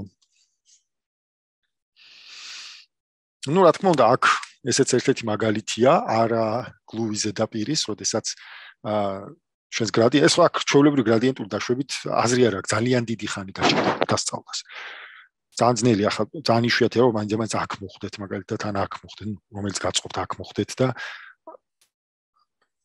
სანამ აქ მოხდებით სადღაც ნუ უფრო დიდი ალბათობით სადღაც სხვაგან იქნებით ხო ეს თან ეს პატარა პორცია აღებული სადაც ოპტიმალური ნაწილის ნაჩვენებია ეს დიდ პორციაზე ძალიან ძნელია რომ იმდენ ხანს მოუწევს სიარული სანამ აქ ჩამოვა ხო გრადიენტი იმდენ დაბრკოლება შეხვდება იმდენჯერ განურდება ეს ჩვენი გრადიენტი და გვეგონება რომ მივახციეთ ოპტიმალურ ოპტიმალურ ნიშნულობას სტომილების ფუნქციის ხო და მიზნობრივი ფუნქციის და ეს ოპტიმალური ნიშნულობიდან შორს იქნება რომ იმდენად შორს იქნება რეალურად მართლა კარგი ოპტიმალური ნიშნულობის გარო შეიძლება თავის კი დავანებოთ ხო? ან დროში არ ჩავეტიოთ. თუმცა როცა ზედაპირი ასე თუ ისე გლუვია მაშინ ცხადია უფრო დაშვება უფრო ჩქარა წამოვა ხო? გრადიენტი უფრო მალე წამოვა ხო ქვევით და უფრო მალე მიხვდებით რომ არ ვართ ან ვართ ოპტიმალურ ზედაპირზე ხო? ესეც მაგალითად ერთი რომ ზედაპირი იყოს გლუვი მეორე თვითონ ბიჯი იყოს ხო ოპტიმალური. ნუ როდესაც აი აქ მოხდებით, აი აქ მაგალითად ან აქ მოხდებით, ეს პლატოა ხო განოლდება გრადიენტი. წარმოიდგინე ხა ესეთი ძალიან მცირე პლატოც ბევრია, მაგრამ ნუ კარგი იქიდან რაღაცნაირად გამოვიქეცით, თქვა ხო, იმიტომ რომ მეორე მინი ბაჭზე, მეორე მინი პორციაზე აუცილებლად იმ პლატოზე არ მოხდებით ხა. ალბათობა იმის რომ ყველა მინი პორციაზე აუცილებლად პლატოზე მოხდებით, ძალიან დაბალია ხოლმე, ხო? მაინც გადმოხტომა ხდება პლატოდან, ასე თუ ისე, მაგრამ იმიტომ ეს მინი პორციები მაინც ურევს ხო ზედაპირს, მაგრამ აი, მაგალითად აქ რო ნახოთ, აა მინი პორციაზე ერთგან შეიძლება აქ მოხდეს, მეორე მინი პორციაზე აქ მოხდეს, მესამეს ცოტა კიდე ზევით წავიდეთ. აქ პატარა ვარიაციაც კი უკვე პლატოდან ამოვარდნას იწევს და შეიძლება სხვა პლატოზე მოხდეს ან სხვა პლატოზე ცუდი, იმიტომ მაინც ნული იქნება, მაგრამ თქვენ შეატყობთ, რომ ცდომილება იცვლება, ცდომილების მნიშვნელობა იცვლება. ცირდება, ნიზდება. მეორე კიდე ნაბიჯია ხო სადღაც აქ თუ მოხდა ხო აქ განოლდება გრადიენტი და გვეგონება რომ ოპტიმუმს მივახციეთ მაგრამ შეიძლება თქვა ეს უკეთესი იყოს. ეს შეიძლება საერთოდ არ ვარგოდეს როგორც ოპტიმუმი იმიტომ რომ აქ პატარა ცვლილება მე მონაცემების პატარა ცვლილება გამოიწვევს აქიდან ამოვარდნას ძალიან ამოვარდნას და აქიდან გამოდიან ჩვენი მოდელი მაგათ აქ პატარა ცვლილება შეიძლება აქ ამოგვახტუნოს ან აქ ამოგვახტუნოს იმიტომ რომ ეს ვიწრო ზედაპირია ხო ვიწრო ოპტიმუმია. ვიწრო ჭალებში ხო გავანი გავამხობ ფართი ზედაპირი გჭირდება სტაბილური ზედაპირი გჭირდება ну აი ხა მაგალითი ეს უბრალოდ სურათია ოდესაც ზედაპირი გიწყობს ხელს ჩქარი დაშვება ხდება და ну რა შეიძლება გავაკეთოთ გავხსენოთ ჩვენი ექსპონენციალური მოძრავის საშუალო ეს გვაძლევდა ძალიან კარგ ინსტრუმენტი იყო ძალიან კარგი რომ ზუსტად ესეთი ხმაურისგან თავი აგვერიდებია ხო და პირიქით ტენდენციისთვის უფრო მიგვექცია ყურადღება დაბლა მივდივართ თუ აღარ მივდივართ. ზუსტად ეს გავაკეთეთ გრადიენტული დაშვებისთვის გააკეთეს ხო? აი ეს უბრალოდ ჩოვლებთ თუ ჩოვლებრივ გრადიენტული დაშვება ეს იყო თითოეული წონისთვის და თითოეული გადახრისთვის ბაიასისთვის ხო ნეირონ ქსელში ან ნებისმიერ ფუნქციაში. და ნუ აქ უბრალოდ ეხა თითოეულ განზომილებაზე ხო ეს ხო ძალიან ბევრი პარამეტრი გჭირდება წონა IG ხო ეს არის რომლიდან მოდის რომელში რომელში მიდის რომლიდან მოდის რომელნაიროდან მოდის ეს წონა და რომელნაიროში მიდის ხო მატრიცაში ამის მნიშვნელობა და ამის მაგალითად უბრალოდ აა შეგვიძლია კლიენ გრადიენტი ვთქვათ რომ W DW არის გრადიენტი ჩვენი ფუნქციის W-ს მიმართ და DB არის იგივე გრადიენტი ჩვენი ფუნქციის on B-ს მიმართ ხო გადახრის მიმართ. უბრალოდ ესე აღნიშნავენ ხოლმე და ნუ ახლა ეს სათითაოდ აღნიშნავს მაგრამ ძალიან ვექტორს წარმოიდგენენ გრადიენტის ხო ეს ძალიან დიდი ვექტორი იქნება რამდენიმე ასეულ მილიონ განზომილებიანი ან ზოგჯერ მილიარდ განზომილებიანი ვექტორი იქნება ჩვენი გრადიენტი და თუ ჩვეულებრივ ამის მაგივრად ახლა ეს ეს ხო ელემენტებზე ხდება ეს ოპერაცია ხო? ჩვეულებრივ ვექტორის სკალარზე სკალარის ვექტორზე ნამრავლი წარმოიდგინეთ და ვექტორების სხვაობა წარმოიდგინეთ ხო აი ამ შემთხვევაში. სკალარზე ნამრავლი და სხვაობა სკალარზე ნამრავლი და სხვაობა ვექტორების ხო და აი ჩვენი გრადიენტი თუ ძალიან ისე მოძრაობს, ეხლა წარმოვიდგინოთ, რომ ავიღეთ ჩვენი აი მინიბატში ავიღეთ ისევ ესეთი ესეთი რაღაცა, ხო, ნულისთვის იქნება 1 ბეტა გამრავლებული აა წონის გრადიენტზე, 1 ბეტა გამრავლებული გადახრის გრადიენტზე და მე ყოველ შემდეგისთვის დავთვალოთ უკვე VW, ხო? VDW, VDB. ანუ უკვე აქ აქ უკვე აი ამაში ვითვლით, ხო? ანუ ეს არის ჩვენ საიდანაც დავიწყეთ და აქ ვითვლით ოპტიმ ექსპონენციალურ საშუალოებს. ანუ ყოველ შემდეგ ბიჯზე წინა ექსპონენციალურ საშუალოს გამოთვალ ხო შეგვიძლია წინათი ვითვლით შემდეგს, ხო ექსპონენციალურ საშუალოს რა აქვს? წინას მეშვეობით ინდუქციურია, ხო ვითვლით შემდეგს. და ზუსტად ეს ექსპონენციალური საშუალებები დავთვალოთ. და უკვე გრადიენტს არა წონის მნიშვნელობა, არამედ ექსპონენციალური საშუალო გრადიენტის მნიშვნელობის გამოკლების მაგივრად, ხო? ექსპონენციალური საშუალო გამოვაკლოთ. მოძრავი ექსპონენციალური საშუალო გამოვაკლოთ. წონასაც და გადახრასაც. რას მოგცემს ეს? თუ აი ესე მიდიოდა მოძრაობა, ხო, ძალიან ბევრი გადახვევით გადმოხევით ზედაპირი თუ არ გვიწყობს ხო ხელს ამ ჩვენი ცნობილების ფუნქციის და მე მიზნობრივი ფუნქციის უბრალოდ ზედაპირი არ არ გვიწყებს ხელს რომ ეს ცნობილებები შევამციროთ ექსპონენციალური საშუალოებით, ხო? რაც იქ მოხდა, ხო, ზუსტად აი ესე გავივლით, მოკლეზე გავივლით, ესე ვთქვათ. და უფრო დიდი ნაბიჯებით, უფრო ჩქარი დაშვება მოხდება, ხო? გრადიენტის. ასევე ტენდენციასაც სწორად ხედავთ. ეს ნიშნავს, რომ თუ ეს დაბლა ეშვება, აქ დაბლა ხდება დაშვება, ხო? რას გვაძლევს დაბლა, როდესაც ხდება დაშვება, ხო? ყველა პარამეტრისთვის სტომილება ერთდეგივე მიმართულებით მიდის. ხო? რა მიმართულებითაც მოხდება პარამეტრის ცვლილება, იმ მიმართულებით მიდის შეიცვლება სტომილების ფუნქციები, ხო? და მიზნობრივი ფუნქციაც, იქითკენ წავა. მიმართულება ერთი და იგივე გვაქვს. დელტები რო დავთვალოთ, აი პატარა შეცდომები, პატარა პატარა ცვლილებები რო მოხდეს ამ ჩვენ პარამეტრებში და თუნდაც მონაცემში, ამ შემთხვევაში მინიბაჩი გვაქვს და მონაცემები სხვადასხვაა ჩათვალე. ხო პატარა ცდომილებისთვის ტენდენცია ერთ და იგივე გვაქვს, აი საით მიდის შეცდომა, საით მიდის ცდომილების ფუნქცია, უფრო საით მიდის მიძნობრივი ფუნქცია, მიმართულება ასე თუ ისე თუ აქ ვერ გავიგებდი, ერთგან ზევით ავიდეს, მე ვერგან ქვევით წამოვიდეს და ძალიან ბევრი ძალიან ისე დადის ხო, რაღაც სტოქასტურად დახტის აქით და იქით. ხო, სტოქასტური გრადიენტი დაშვება, ამიტომაც ქვია ხო, თითეული ელემენტისთვის ხდება დაშვება. ამ დროს პირიქით, ამ დროს ვიცით დაახლოებით ტენდენცია საით მიდის. მიუხედავად იმისა, რომ პატარა შეიძლება გლოვი იმაზეც მოხდეთ აა რაღაც ნაწილი ზევით წავიდეს ჩვენი ჩვენი ცნობილების მნიშვნელობა შეიძლება ზევით მიდიოდეს, ქვევით მიდიოდეს.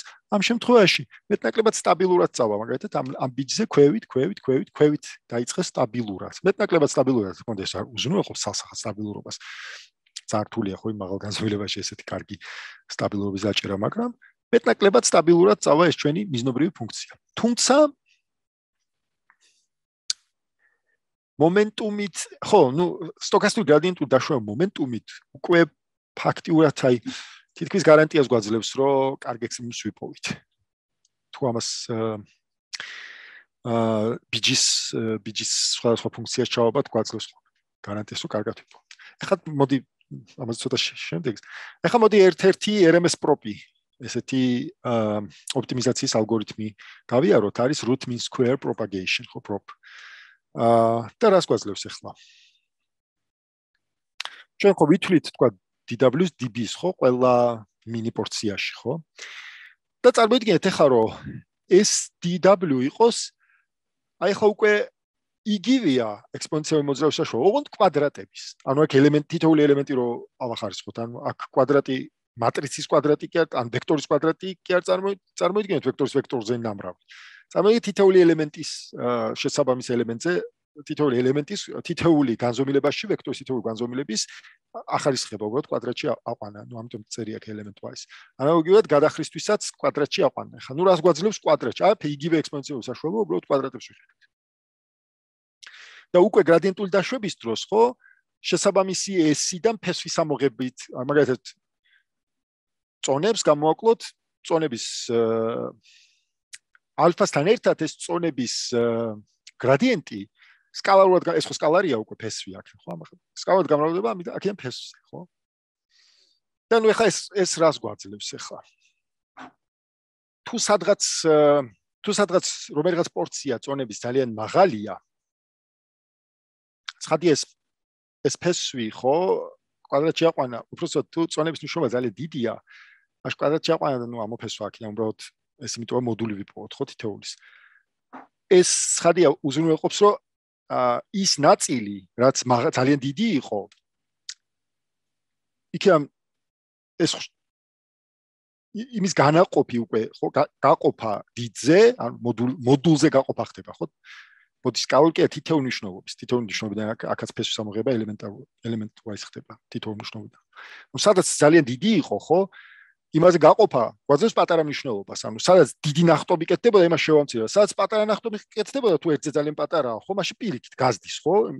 იმაზე გაყოფა პირიქით ერთზე პატარა, გაყოფა გაზდის, ხო? ანუ დაასტაბილურებს აა თუ თუ პირიქით ძალიან ნელა მიდის იმ ხარეს პირიქით დაასტაბილურებს, თუ ძალიან ძალიან დიდი ნახტომი ხდება ზევით ქვევით, ხო? ანუ ნიშნო ეს არის ჰორიზონტალური, როდესაც ნიშნობა ძალიან დიდია, ხო? რაღაც წონის, ხო? იქით აქ დაიწყებს ხო ხტომას ну შესაბამის გრადიენტის უფრო დიდი იქნება ხო? უბრალოდ საერთოდ დიდია ხო ცდომილება იქით იქნება ხო გრად მაგრამ ეს დაასტაბილურებს იქით ამ ამ ზუსტად ამ ხმაურიან ზედაპირზე ეს დაასტაბილურებს მარჯვნითაც და წინათაც. ან დაასტაბილურებს მოძრაობას და დაშვებას გააკეთებს კიდევ უფრო კვადრატული სტაბილურობით ხო? ყველა მიმართულებით სადაც დიდი იყო იქ შეამცირებს სადაც პატარა იყო იქ გაზდის და სტაბილურად წაიყვანს ოპტიმუმისაკენ ოპტიმალური მნიშვნელობისაკენ, ხო? სტაბილურ დაშვებას უზრუნველყოფს კვადრატული მნიშვნელობა, ხო? რადგან ყოფთ ამ კვადრატულ მნიშვნელობას თითოეულ ფესვზე, ხო? რაპორციაც დიდი იყო, აი აქ რაღაც მნიშვნელობა, როცა დიდი იყო, ხო? პიკთ ის ისინი მცირედ იწავა და რაც ძალიან ცოტა იყო, ისინი წინ პიკთ უფრო ჩქარა წავაცი. ანუ ეს არის ერთ-ერთი აი ხან სურათი RMS პროფის ალბათ იდეალიზირებული ესე არ ხდება ხოლმე, მაგრამ ნუ როგორც სტაბილურად დაიწყებს ნაბიჯების გადათქმას და ну თუ მცირე იყო მცირეა და ცოტა წინ წაიგდებს საქმეს იმიტომ რომ აი აქ როდესაც მიუახლოვდება უკვე ამ დროს ხო გრადიენტი ძალიან ნელდება ხო? ამ დროსაც ცოტა ცოტა კიდე წინ წაიგდებს საქმეს ცოტა კიდე წინ წინ გადაახტუნებს თუმცა თუ პლატო ძალიან ძალიან გლუვია უბრალოდ თუ პლატო აა ძალიან დიდია და პლატო არის ჰორიზონტალური ძალიან, მაშინ რა თქმა უნდა ნოლი გახდება და ამ დროს სხვა რაღაც ინსტრუმენტი გჭირდება, მაგრამ თავარია რომ იმ ხმაურს გამოვექცეთ. ეს ბევრი რაღაცა ერთდროულად მუშაობს ტანდემში, ბევრი ალგორითმი ერთდროულად ტანდემში მუშაობს ხოლმე და ესე არ არის, რომ ცალსახად ეხა თქვა RMS პროპი გამოვიყენო და შევ მეშველა ყველა ამოცანას ამოხსნა. ხო, ნუ SW თუ არის დიდი, ესე იგი ნაბიჯი იქნება წინ, ხო, გადადგმული და ნუ ეხლა 0-0 გაყოფა არ მოხდეს ხოლმე, რაღაც ცირე ეფსილონს უმატებენ აქ. რიცხვითი სტაბილურობა შევინარჩუნოთ, ხო? აა ნუ შეიძლება 10 ხარისხად -8 მიუმატოთ. ადამის ოპტიმიზაცია, ხა ადამის ოპტიმიზაცია ეს არის საწყისი პირველი ოპტიმიზაცია ადამის სახელიდან გამომდინარე რომ რაღაც ადამის დაკავშირება ეს არის adaptive momentum estimation ხო adaptur adaptირებული მომენტუმის შეფასების ოპტიმიზაცია ხო და ადამიანის ოპტიმიზაცია ზუსტად ამ მომენტუმს რაც სუპერულად გავიარეთ ექსპონენციალურ საშუალოს და RMS პროპის კომბინაციას აკეთებს. ანუ მეორე რიგის მომენტის და მომენტის კომბინაციას აკეთებს ერთდროულად, ხო? ჩვეულებრივად თავიდან ნოლებს დავსვავთ. უკვე აქ იმ პირველ W-სა, იმ პირველ V-საც ვიყენებთ, ანუ ექსპონენციალური საშუალოსი, პლუს ამ კვადრატულ ექსპონენციალური საშუალოსი, ხო, რომ შორს ხმაური და შორს გაქცევა დავასტაბილუროთ მოძრაობა უბრალოდ მიმართულება დავასტაბილუროთ არც არც თუ ძალიან ძალიან დიდ ნახტომს აკეთებს პირიქით შევამციროთ თუ ძალიან მცირეს აკეთებს პირიქით გავზარდოთ. იმიტომ რომ ძალიან დიდ ნახტომზე შეიძლება რაღაცა ადგილს გადავახტეთ რომელიც გჭირდებოდეს. ძალიან მცირე ნახტომზე შეიძლება შევანელოთ და ვერ ვერ წავიდეთ წინ და სინამდვილეში მოხდეთ ძალიან ცუდ პლატოზე მაგალითად ესეთ უნაგირა წერტილზე და ეს პლატო იყოს. პლატოში ხო სიგურისმეო ჰორიზონტთან ახლოს ზედაპირი ხო? ესე. ჩამოვედით თიდან პლატოზე მოხდით არა და კიდე ბევრი ჩასვლის საშუალებაა ხო ამას გამოვექცეთ და თან მით უმეტეს, ოდესაც ხმაურიანია ზედაპირეს პატარ-პატარ პლატოები ძალიან ხშირად შეგვაყოლებს, ხო? თუმცა თუმცა შეიძლება, ოდესაც ხმაურიანი ზედაპირი სხვა მიმართულებით გავიქცეთ, ოდესაც დიდ ნახტომს ვაკეთებ და ადამის ესა RMS-ი ზუსტად მაგას აკეთებს, რომ არც იქით გაგვიშვებს ძალიან და არც აქეთ გაგვიშვებს. სტაბილურად გადაგვეთმევინებს ნაბიჯებს, რომ არც ავწდეთ. თუმცა ალბათობა რა თქმა უნდა არის, მაგრამ ნუ ფაქტია, ძალიან მცირეა ეს ალბათობა, ასე ალბათობა არის რომ კაი შემთხვევებსაც სადაც გასაჩერებელია იქ არ გავჩერდით თუმცა თუ ესეთი მცირე ცვლილება გადაგვახტუნებს ან გამოგვატოვებინებს გაჩერების ადგილს ან გადაგვახტუნებს დაშვების ადგილს ესეთი სტაბილური ცვლილება. მაშინ თვითონ ეს იმდენად ვიწრო იყო ეს შესასვლელი ხო? პირიქით სტაბილური არ იქნება. ჩვენ ჩვენი ჩვენი ამოცანა გადაჭრის გადაიჭრება თქვა კაი ოპტიმუმს ვიპოვით მაგრამ ჩვენი შერჩევისთვის როგორც კი პოპულაციაზე გავალთ სტაბილური არ იქნება. პატარა ვარიაციაზე შეიძლება ამოვარდეთ ამ და ამოვარდეთ რას ნიშნავს ხო აა ჩვენმა მოდელმა არ იმუშაოს კარგად ხო ან ძალიან ხშირად კონდეს ისეთი არასწორი პასუხი გაგვცეს ანუ რაც წესი უნდა იყოს ეგრეთ წოდებული outlier-ი, ხო? რაღაც პირ მნიშვნელობის გარეთ უნდა იყოს, ხო? რაღაც ისეთი მნიშვნელობა ხო პირიქით ისეთი მნიშვნელობა მოხდება შიგნით ჩვენს განაწილებაში და ეს ხშირი ხშირი იქნება. ალბათობა მაღალი იქნება არასწორი პასუხის გაცემის და ჩვენ გვინდა პირიქით რაც შეიძლება დაბალი იყოს ალბათობა რომ არასწორი პასუხი გაგცეს. და რას ვაკეთებთ ახლა ადამიანის შემთხვევაში? ხო, ადაპტი ზუსტად ადაპტირებას ვაკეთებთ. პირველი რო შესაბამის მომენტუმს ვითვლით, ჩოვლებრივ მომენტუმს, ასევე კვადრატულ მომენტუმს ვითვლით, ხო, ეს ანუ dw და vdb-ს, როგორც ჩოვლებრივ მომენტუმი, ანუ სტოკასტური გრადიენტული დაშვება მომენტუმით გავაკეთეთ, ხო, მინიბატში შემთხვევაში სტოკასტურია უკვე გრადიენტული დაშვება, ხო, ეს თავიდან მეთქვით. შემდეგ RMS პროპის შემთხვევაში S-ები დავთვალეთ, ან კვადრატული სტაბილურობა გამოვიყენეთ და აი სულ თავში რომ ვახსენე, კორექტირება გავაკეთეთ უკვე თვითონ dw-სი და vdb-ს.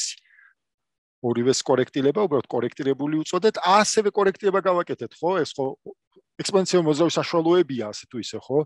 ამიტომ კორექტირება ორივეს ჭირდება, გასაკუთრებით საწყის ბიჯებში, ხო? საწყის ბიჯებში კორექტირება გვაძლევს კიდევ უფრო დიდი ნაბიჯის გადადგმის საშუალებას, ხო? და ამით არ დავკარგავ ტენდენციას. არ დავკარგავ ჩვენ ზევით მიდიოთ თუ ქვევით ამის ტენდენციას, ხო? ტენდენციის გააზრებას. არ ავწდებით ტენდენციას ესე რომ ვთქვა ხო? ჩვენ სიმბოლოში ხა გრადიენტული დაშვება არ აცდება და ჩვენც რო აკვირდებით ხო? საით მიდის ჩვენ ცდომილება დაბლა მიდის მაგრამ უცებ დაბლა წავიდა არა და მაღლა მიდიო უფრო მაღლა დაბლა მიდიო და უცებ მაღლა წავიდა. დაბნებისგან დაგვიცავს ხო? და უფრო ჩქარა ჩქარი დაშვება მოხდება გრადიენტული ანუ კორექტირებულია ორივე უკვე ესი ზუსტად ამ ჩვენი ბეტათი ბეტა ამ შემთხვევაში ამ შემთხვევაში ბეტა 1 და ბეტა 2 რა არის? ახლა რატო გვაქვს ორი ბეტა უკვე პირველი არის ექსპონენციალური მოძრაობის საშუალოს ბეტა, მეორე არის კვადრატული ექსპონენციალური მოძრაობის საშუალოს ბეტა, ანუ ამას კვადრატული უძახს. ანუ RMS პროპის ბეტა მეორე და პირველი არის ჩვეულებრივი სტოკასტური გრადიენტ დაშვების მომენტუმის ბეტა. და ამ ორი ბეტას კომბინაციით, ორივეს კორექტირებით ვაკეთებთ აი ესეთ რაღაცას. ანუ ეს რომ მოვაშოროთ, იქნება ჩვეულებრივი მომენტუმი. ამის მაგალითად თუ წონა ჩავწეროთ, იქნებოდა RMS პროფი, ხო, კვადრატული სტაბილურობა. და ამით გვაქვს თან მომენტუმი თან კვადრატული სტაბილურობა. ანუ ეს არის მომენტუმის ეფექტი პლუს კვადრატულ სტაბილურობაზე. ანუ თანაბიც როგორ გითხათ, ესე იგი, ზღუდავს ვიცავს სტაბილურს აკეთებს, მაგრამ წინ გადადგმუნდაბიც მაინც ჩქარა აკეთებს. წინ მაინც მაინც კარამიტის. აა ეხლა ოპტიმიზატორი ძალიან ბევრი არსებობს. ოპტიმიზატორი ბევრი არსებობს. აა ბევრი მკვლევარია ოპტიმიზაციაში ჩართული. ჩვენთანაც არის საქართველოსიც კარგი ოპტიმიზაციის ამოცანებია და ოპტიმიზატორები ბევრია. აა და ბევრ ამოცანას კარგად ჭრის და ეხმარება, იმიტომ გრადიენტული დაშვება, ხადია ხვდებით რომ მარტო მანქანის სწავლებაში არ გამოიყენება ხო უამრავ გამოყენებით მათემატიკის პრობლემაში პრობლემა გადაიჭრება გრადიენტული დაშვებით, ხო? ამოცანა მოიხსნება გრადიენტული დაშვებით და სხვა სხვა ოპტიმიზატორი არსებობს. ასევე თვითონ მანქანის სწავლების და უფრო კონკრეტულად ხმადასწავლის ნეირონული ქსელებისთვის და კიდევ უფრო კონკრეტულად კონკრეტული ტიპის ამოცანებისთვის კიდევ სხვა სხვა ოპტიმიზატორი არსებობს. მაგრამ თუ ოპტიმიზატორი ერთ მონაცემზე მუშაობდა თუნდაც ერთი ტიპის მაგათ სურათებზე კარგად მუშაობდა, მაგრამ ტექსტი არ მუშაობდა. ადამმა უფრო RMS პროპ, ანუ ადამმაც, მაგრამ ნუ ადამს კიდევ დამატებით კიდევ რაღაცები დაამატეს ხა დააშენეს ამით. აჩვენა რომ ეს ოპტიმიზატორი ყველასთვის აუმჯობესებს დასწავლის პროცესს და აჩქარებს დასწავლის პროცესს. რას გვაძლევს ახლა? ხო, პირველ რიგში გვაძლევს სტაბილურობას RMS პროპისგან გამომდინარე ტენდენციას ვინარჩუნებთ. ტენდენციის შენარჩუნება გვაძლევს საშუალებას, რომ აა მიუხედავად იმისა, რომ რამდენიმე ჰიპერპარამეტრი გვაქვს, ჩვენი ბიჯი ხო ალფა learning rates რასაც ვეძახი. პირველი მომენტუმის პარამეტრი ხო ბეტა 1. RMS პროპის ანუ კვადრატული მომენტუმის მომენტის პარამეტრი ხო ეს ბეტა 2 მომენტუმის. აა და ეფსილონი ხო ნუ 10 ხარისხად რო არის ხა ეფსილონის ინიციალიზაციაზე თავს არის წუხები. ნუ აჩვენა პრაქტიკამ რომ თითქმის ყოველთვის თითქმის ახლა თქმა უნდა. ისე რა თქმა უნდა, ძირითადად თან მithumetes რომ გამოყენებით ამოცანებს გავაკეთებ და თან როდესაც ჩვენი განაწილება ახლოს არის განაწილებასთან საიდან რაზეც დასწავლილია ეს ჩვენ უკვე დასწავლილია ეს ჩვენ ნეირონული ქსელი. მაშინ ბეტა 1-ს 0.900 იღებენ ხოლმე, ბეტა 2-ს 0.999 9999 1000-ს იღებენ ხოლმე. ალფა რა თქმა უნდა, ალფა ცალკე თემაა, ცალკე საკითხია, ცალკე ვილაპარაკოთ ამაზე. და თითქმის ყოველთვის ალფა არის ალფას შერჩევაზე გვინდა ასე ვთქვათ, ალფას შერჩევა ცოტა თავსატეხია ხოლმე და თითქმის არასდროს ამ სხვა პარამეტრებზე ხო, ადამიანის შემთხვევაში. თითქმის ყოველთვის ესეა, რომ 99 0.999 და ეფსილონი 0.8. ეფსილონის სტაბილურობისთვის ხო აქაც ეფსილონი დასტაბილურებენ ხოლმე, ეს არის რიცხვის სტაბილურობა ხო, ნოლზე გაყოფა რო არ მოგდაგჭირდეს. პლატო შემთხვევაში ხო ესე განოლდება გრადიენტები. ну პირველი მომენტი და მეორე მომენტი ქვია ხო პირველი ხარისხის და მეორე ხარისხის მომენტია ხო ესე ამბლში კვადრატული მომენტია და პირველი მომენტია ну აქ ვიზუალიზაცია არის სხვა სხვა ოპტიმიზატორების აქ ადაგრადი და ადა დელტაც არის RMS პროპი ალბათ ვიცით მომენტუმი ვიცით ჩოვლებრივი სტოკასტური დაშვება აი ნახეთ რა ნელამიდის ეს არის ჩოვლებრივი სტოკასტური გრადიენტული დაშვება ხო მინი ბაჩების შემთხვევაში თუმცა ზედაპირი ძალიან გლუვად არის აქ დახატული ну ხედავთ რომ აი მაგალითად ყველა ჩქარა წამოვიდა RMS პროპი მე მგონი ხო ადამია კარც არის დახატული მე მგონი აქ სხვა სხვა ოპტიმიზატორებია კიდე განხილული, მაგრამ მე სამი მოყევი, იმიტომ რომ ეს სამი ყველაზე პოპულარულია და ადამი განსაკუთრებით და ადამ აი აქ არის კიდევ ერთი მაგალითი ხო აი დაშვების. ხედავთ რომ აი თქვა ჩოლებრი სტოკასტური სტაბილურად მიდის, კარგად მიდის სტოკასტური გრადიენტული დაშვება. მომენტუმი ცოტა იხტუნა, იხტუნა ხო იქით, მაგრამ აი რაღაც მომენტის მერე მომენტუმი სტაბილურადაც წავიდა, ჩქარად წავიდა.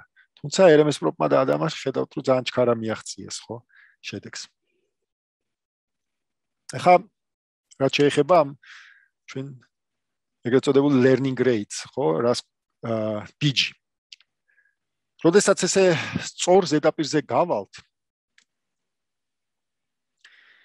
აი როდესაც ჩვენ თქვით რომ აი დასწავლის პროცესში ხო სულ გვაქვს ეს პლატოები, ხო? აქ რაღაც ნაწილი ზევით მიდის, რაღაც ნაწილი აქით აქ ესე პლატოა თქვათ დიდი, რაღაც ნაწილის მერე ქვევით მიდის, აქ თან ეს უამრავ განზომილებიანია წინაზეც გითხარით ხო ალბათობა რო ერთ ლოკალურ ექსტრემუმს მიაღწევთ. ძალიან დაბალია მაგრამ ალბათობა უფრო დიდია პლატოზე მოხდებით. თუ ეს პლატო ზედაპირი საკმაოდ დიდია თუ ა ხმაურისგან გვიცავდა მომენტუმი. RMS პროპი გვიცავდა ა მაგალითად აი ესეთი გადახტომისგან უბრალოდ ესეთი გადახტომისგან გვიცავდა ხო RMS პროპი აქეთ ძალიან შორს რო არ გაქცეულიყო მასა სტაბილურდება და ასევე აქ რო ეხა დახრა ძალიან დაბალია პატარა გრადიენტის შემთხვევაში ხო პირიქით ამასა სტაბილურდებდა ანუ RMS პროპი ყველა მიმართულებით ასტაბილურდებდა მოძრაობას ხო ამიტომ იყო კვადრატული მომენტი დათვლილი ხო? სტატისტიკურ მომენტებს გაიხსენებთ. შეიძლება მიხვდეთ უფრო ცხადად რატო იყო ეს მომენტები დათვლილი. მაგრამ რაც არ უნდა იყოს თუ ეს ეს იყო იმ შემთხვევაში, როდესაც ხმაურიანი ზედაპირია და რაღაც პლატო პლატოები არის, მაგრამ ეს სტაბილურობა გვაძლევს საშუალებას, რომ პატარა პლატოებს გამოვექცეთ. მაინც მაინც დიდ პლატოებთან აი პატარა პლატოებს აქედან გამოვიქცეთ. აი აქედან აქ ხა რაღაც ნაწილი აქით მოდის, რაღაც ნაწილი იქით ზევით მიდის. ეს არ ჩათვალოთ ორგანიზმილებაში კი ბატონო, ხო? ლოკალური ექსტრემუმი გვაქვს, მაგრამ სამ განზომილებაში არა ძალიან ძნელია, აი თქვა თუ просто სამშიც არის, მაგრამ ოდესაც ავალთ ასეულ განზომილებაში, მაშინ ორი ხარისხად მინუს 100-ია იმის ალბათობა, რომ ის ლოკალური ექსტრემუმი იყოს ლოკალური ექსტრემუმი და არა უნაგირა წერტილი. თუმცა ორი ხარისხად თითქმის ერთია ალბათობა უკვე იმის, რომ იმასთან ვიყოთ. 1-2 ხარისხად -100-ია იმის ალბათობა, რომ რადგან ექსტრემუმის წერტილი არ არის, იქით არის იმის ალბათობა, რომ აა არ იყოს პლატო. არ იყოს ბოდიში უნაგირა წერტილი. ანუ ბოდიში იქით ორი ხარისხად მინუს 100 ასევე იმის ალბათობა, რომ ანუ ყველა მიმართულებით რას ნიშნავს ლოკალური ექსტრემ, რომ ყველა მიმართულებით ერთი და იგივე ხარეს მივდივართ, ხო? ყველა მიმართულებით, ყველა განზომილი. ნუ ეს დამოკიდებულია თვითონ ფუნქციის რა ფუნქციას ვიყენებთ ხო და ჩვენი ფუნქციებზია ლაპარაკი ნეირონქსელებზია ლაპარაკი ხო თავის მიზნობრივი ფუნქციები ყველა მიმართულებით ანუ ყველა განზომილებაში ერთ და იგივე მიმართულებით მივიდივართ აი მაშინ ვართ ლოკალურ ექსტრემუმში და ხარა არის მაგის ალბათობა რომ მინიბატში ამ ჩვენ რა თქმა უნდა ეს მონაცემზეც არის დამოკიდებული ყველაფერი მაგრამ ნუ ეგეთი მაგრამ კარგი მონაცემები არ არსებობს რომ ეგ მოხდეს ხო სინამდვილეში ის რომ ყველა მიმართულებით წავიდეს ყველა განზომილება ეგ შეუძლებელი არის ძალიან დაბალი ის ალბათობა ხო? ეს შეიძლება კიდევ უფრო მეტი იყოს ხო? ხარისხად 100-იც იყოს 1000-იც იყოს და უსა ჩვეულებრივ ნეირონ ქსელებში ნუ ეს შეიძლება იყოს ორი ხარისხად 160 მილიონი ხო?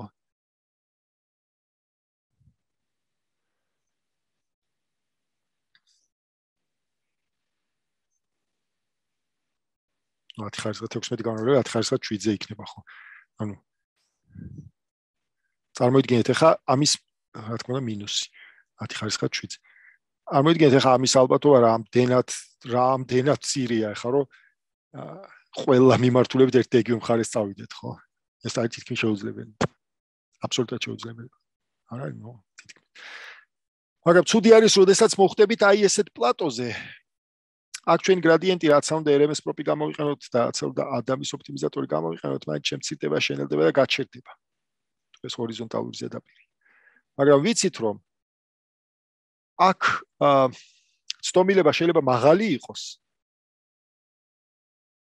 მაგრამ კოსტი, უпростоად ლოსი მაღალი იყოს, ხო, ცდომილება. მაგრამ გრადიენტი ნულია. მაგრამ ვიცით რომ არის კიდე ჩამოსასვლელი, ანუ აქ ძევით მიდის თქვა, აქ თქვევით მიდის, აი ესეთი ზედაპირია ხო, აი ესეთი. აი ესეთი. აქ თქვევით მიდის და ვიცით რომ არის სადღაც კიდე უფრო კარგი პლატო. და უფრო ну უფრო x აქ ცდომილება ეს არის ცდომილებას სიმაღლე არის ცდომილება თქვა არის კიდე უფრო დიდი პლატო თქვა კიდე უფრო დიდია აქ.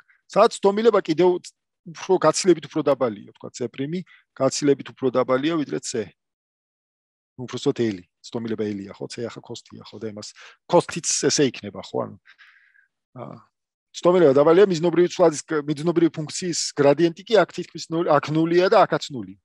ამ დროს რა უნდა ვქნათ? ну ახლა თუ ნულია ვერაფერს ვერ ვიზამთ მაგრამ ეგეც ხო ვიცით რომ ახლა აბსოლუტური ნული ვერ ხდება რადგან აქ ყოველთვის იმის ალბათობაც რომ ესე აბსოლუტურად გული არ არის. მაგრამ რა ხდება? რა ხდება რომ ეს ჩვენი ბიჯი უნდა შევცვალოთ, რაღაცნაირად გავზარდოთ მაგალითად და აქ გადმოვახტუნოთ აქიდან. რო გადმოხდება ეს დავიმახსოვროთ ეს ზედაპირი. ხა რო გადმოხდება ხო ძალიან დიდი ალბათობა რომ აქ მოხდება უფრო დიდი. და აქ აქ დაიწყებს ხო აქ ამ პლატოზე დაიწყებს რაღაც დაშვებას. ასევე ალბათობა არის რომ აქ მოხდება. და აქ დაიწყებს დაშვებას. ნუ ორივე ალბათობა ამ შემთხვევაში უკვე თანაბარი ალბათობა ან ზევიწავა ან ქვევით ხო? მეტი ვარიანტი არ აქვს ხო და დავიმახსოვროთ ეს მე ეს ჩვენი ბიჯი გავზარდოთ, გადმოახტუნოთ, ეს დავიმახსოვროთ, ისევ გავზარდოთ, გადმოახტუნოთ, მე ეს დავიმახსოვროთ, მაგრამ სადღაც ახლა უკვე აა სადღაც ვიცით რომ უკვე ახლა ეს ცდომილება მე ხო კი პლატოები იქნება, მაგრამ დიდი ცვლილებები აღარ იქნება რა, უკვე სადღაც აი ესე სტაბილურ ნაწილს მიაღწევს. და როდესაც ამ სტაბილურ ნაწილს მიაღწევს, კი აქაც ვიქნება ცდომილებები, ეს კიდე დაშვებები გაგრძელდება, მაგრამ ეს სტაბილური ნაწილი ჩვენ უკვე გვაწყობს. ანუ რას ნიშნავს ახლა აი ხო ხედავთ აი რაღაცნაირად ამოვახტუნოთ აქიდან. აქ საერთოდ აქ ხა აღწერილი ეგრეთ წოდებული bouncing gradient-ი, ანუ ხტომიერი gradient-ი, მაგრამ აქ ხტომიერი gradient-ი აღწერილი ზუსტად რომ რაღაც კარგ ექსტრემუმს მიაღწია და ამოაგდო, ჩააგდო. ну მაგ შემთხვევისგან თავი დავიზღვიეთ თითქოს RMS პროპით, მაგრამ ну რა თქმა უნდა ეგეც შეიძლება მოხდეს, რომ გადმოხდეს ზუსტად და იქნებ ჩვენ გვაწყობს კიდეც რომ გადმოხდეს, ხო? ეს ხო არის ესეთი კარგი შემთხვევა, რაც ჩვეულებრივ მანქანის სწავლებაში გქონდა ხო აქ აღალ განზომილებასთან თუ აქ საქმე და ისე კარგად არ მიდის საქმე. შეიძლება აქედან კი გადმოხდეს, მაგრამ ესე აუცილებლად ზევით კი არ მოხდება, შეიძლება ქვევით წავიდეს და აი აქ სხვა პლატოს მიაღწიოს. სხვა პლატო იპოვოს უფრო კარგი.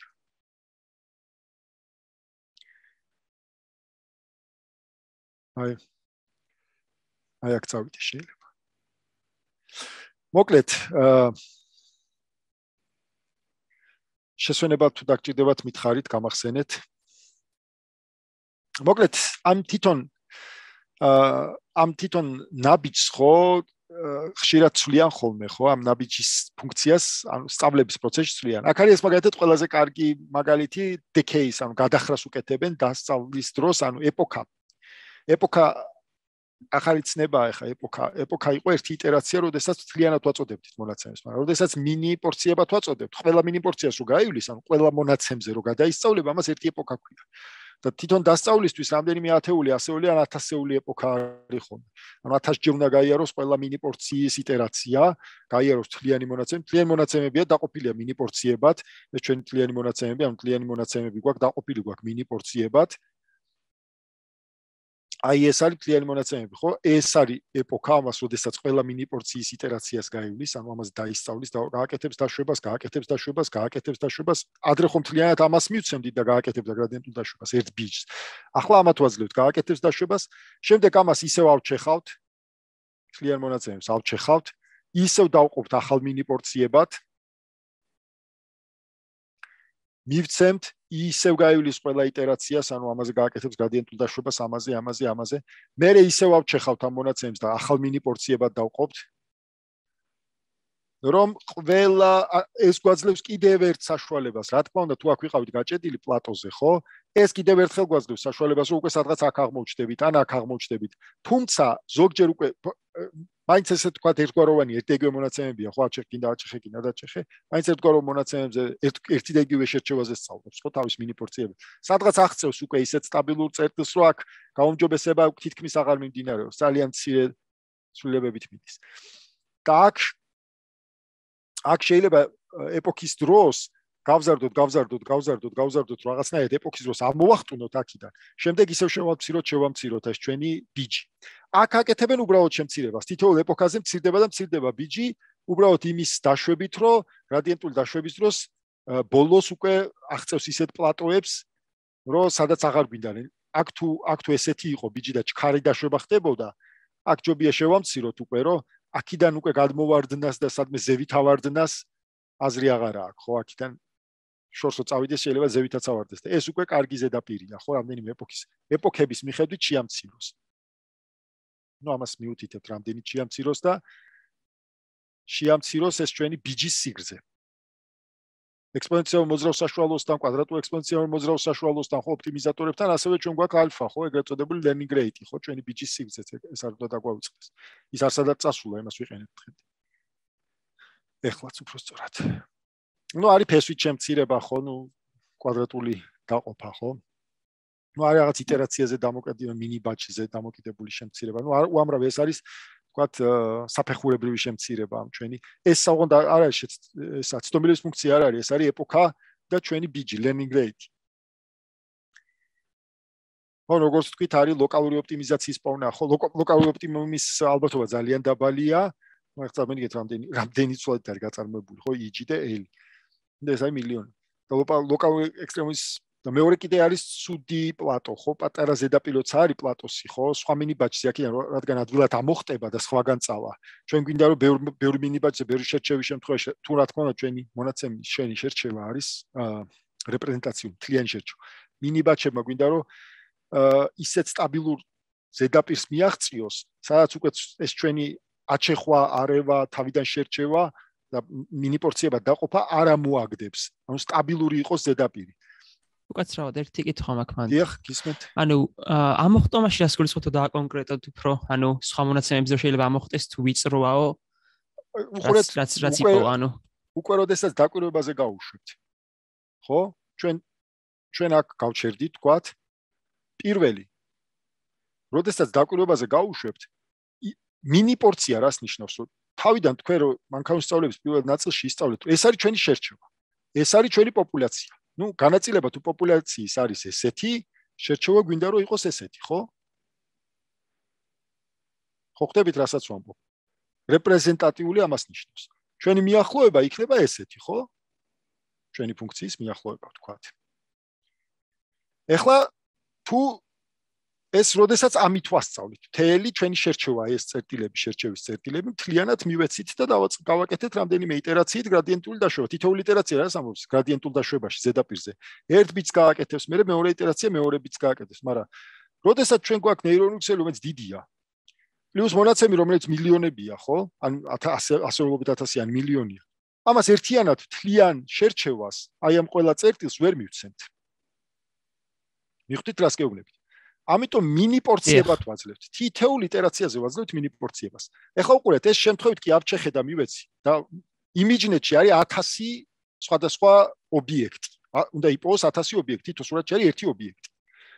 ხა წარმოიდგინეთ თქვენ რომ 64 პორციას რო ვაძლევ 64 სურათს იქ ხო 1000-დან გასილებით უფრო ცოტა ობიექტი 1000-ში ხო ვერ ჩაეტევა 64 თითო სურათში თითო ობიექტი ხო ანუ ალბათობა იმისა რომ 1000 ობიექტს მოიცავს უკვე არ არის ხო ის 64-იანი მინი პორცია პირიქით 1000-ზე 10 ჯერ უფრო ნაკლებს ხო 12 ჯერ უფრო ნაკლებს მოიცავს ხო რაღაც 15 ჯერ უფრო ნაკლებს.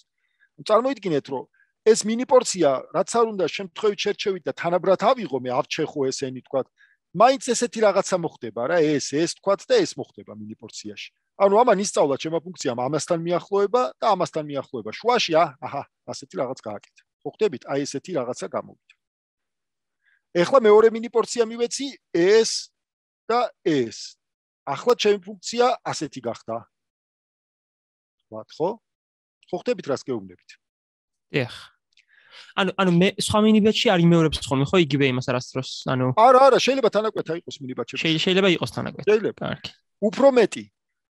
ეს როცა ყველა მინიბატში გავიარე ასეთი ასეთი ასეთი ასეთი კი გახდა უკვე ჩემ ფუნქცია. მეორე ის გავუშვი უკვე ავჩეხე ეს თავიდან და უკვე სხვა მინიბატში მე ხა ესეთი და ესეთი მივეცი ვთქვათ და ესეთი ვთქვათ ესეთი გახდა მე ესეთი ეპოქა ქვია როდესაც ყველა მინიბატს გავივლით და რამდენიმე ეპოქა ვასწავლი ეხლა ეპოქის დროს აშვე, დაშვების დროს აშვე, ეს რადგან ჩვენი ფუნქციის მიახლოება ხდება, დაშვების დროს აშვება. აი ესეთი ესეთი უნაგირა წერტილებიდან, ემტუქიო უნაგირა ხო სამგაზოვრებაში უნაგივი ვითარი.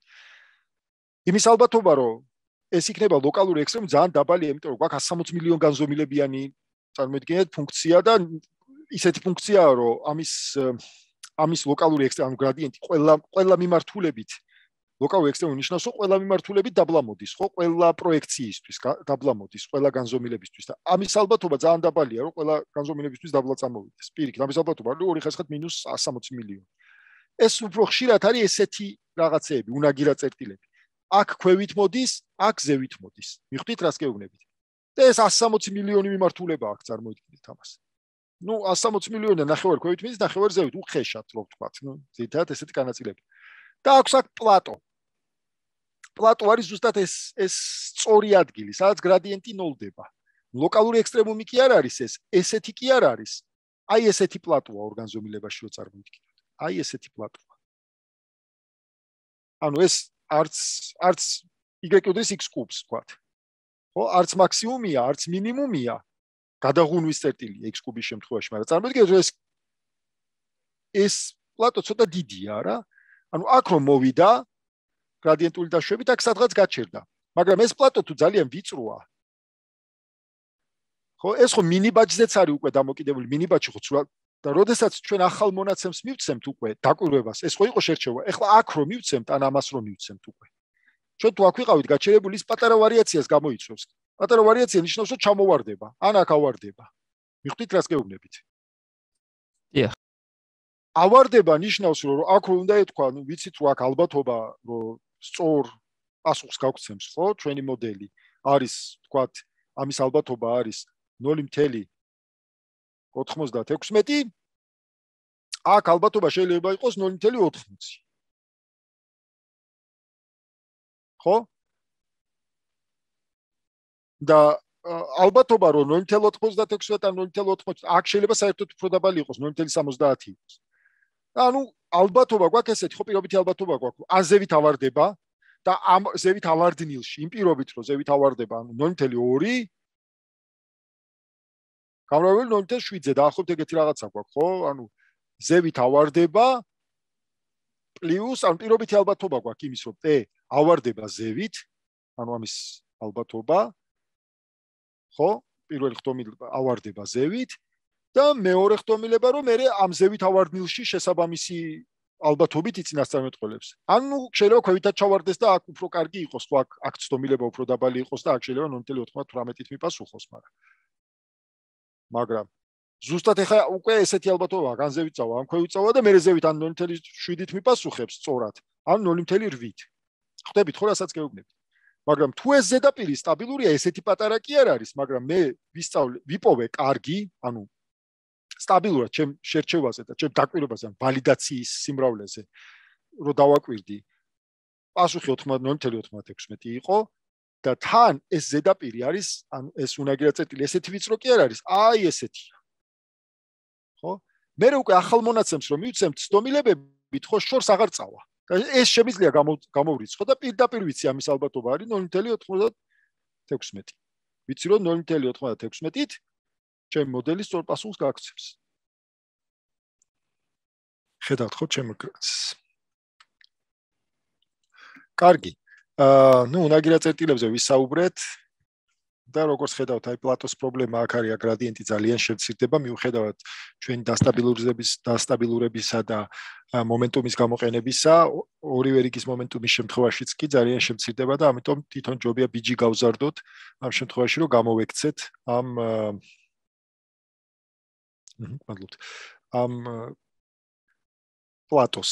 თან დავიმახსოვროთ შეიძლება ეს კარგი პლატოც იყოს ხო ну აი აქ ხედავთ ახლა ისე ისე აა ისე ოპტიმიზაციის ამოცანები ოპტიმიზაცია მაქვს ახლა ერთ-ერთი ყველაზე პოპულარული რაც ძალიან პოპულარული იყო 1-2-3 წლის წინ ეს იყო one cycle ანუ ერთი ციკლური ბიჯი ხო? ციკლური ბიჯი. აა ეს გვაძლევდა თითო ეპოქის დროს აა შემცირდებოდა შემცირდებოდა მე ძალიან გაიზდებოდა უბრალოდ პირიქით გაიზდებოდა ეს ჩვენი ბიჯი. და შემდეგ შემცირდებოდა ანუ როგორც ხედავთ გრაფიკზე იტერაციების მიხედვით როგორ ცვლილება ხდება.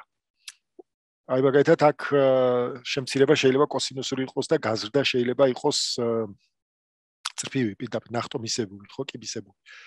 აა აქ არის მაგალითად ძალიან კარგი საშუალება იყო როგორ გვეპოვნა ინიციალიზაცია როგორ გაგვეკეთებინა ამ ჩვენი learning rate-ის, ანუ ჩვენი ბიჯის, ხო?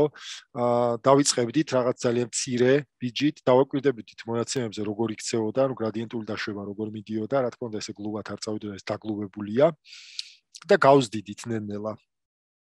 და ხო ხედავთ აქ თითქმის ათეულობის თანრიგამდე გაიზარდა და როგორც კი ეს ჩვენი გრადიენტული დაშვება უკვე პირიქით ზევით წავიდოდა, ანუ ბიჭი ძალიან გაიზდება ხო აქ უკვე ერთზე მეტი რო გახდა ну აქ ხა кай შემთხვევაა ხო ასეულები მე ათეულების თანრიგზე ჩამოვიდა სადღაც აი აქ ავიღებდი ჩუაში ხო ანუ просто ჩუაში კი არა ცოტა მოშორებით ამ ერთნაირი ერთნაირი სტაბილურობისთვის ავიღებდი ცოტა მოშორებით უკვე ამ გარდატეხის წერტილიდან გადაღუნი ლოკალური ექსტრემუმის წერტილი просто ეს გლობალური ექსტრემუმია მაგრამ ნუ ამ ექსტრემუმის წერტილიდან ცოტა მოშორებით ავიღებდი სტაბილურობისთვის ну სადღაც აი აქ შეიძლება აიღოთ და ამას ავიღებდით ინიციალიზებურად ამ პირველ ბიჯათ. აი ეს მაგალითად ფასტეიაის კურსიდან მაქვს პირდაპირ ამოღებული ეს როგორი პოონ ეგრეთ წოდებული learning rate ხო ბიჯი. ინიციალიზება როგორ გააკეთო. რა თქმა უნდა, სტაბილური არ იქნება. დააკვირდებიან, ქვევით რო წავა, თან ნიშნულობასაც გამოიტანს ეს ხო? და ეს სადღაც აქ ასეული გახდება ხო?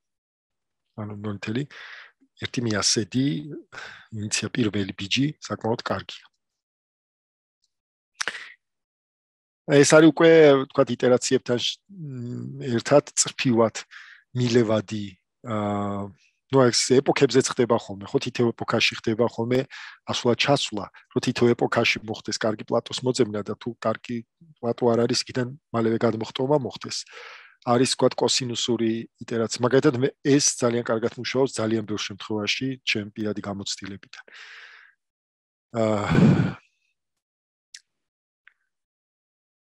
ანუ ეს BG ხო? რა თქმა უნდა ეს ბიბლიოთეკაშია ჩადებული, ფორმულა შეგიძლია თქვენ თვითონაც ნახოთ, ხო?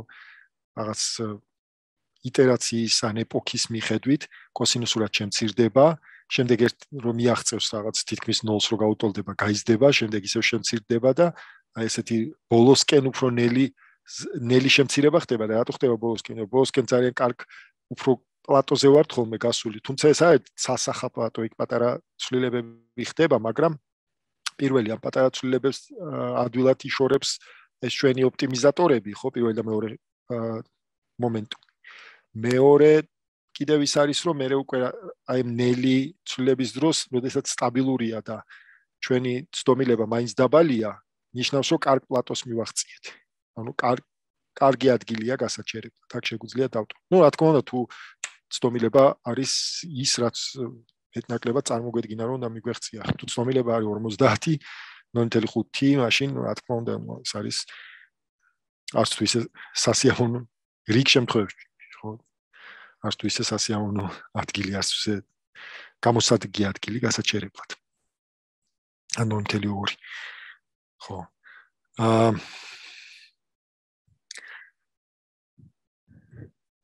რეგულარიზაციებიდან ახლა თქვენ ალბათ რეგულარიზაცია გაიარეთ ხო? აა რომ რაღაცნაირად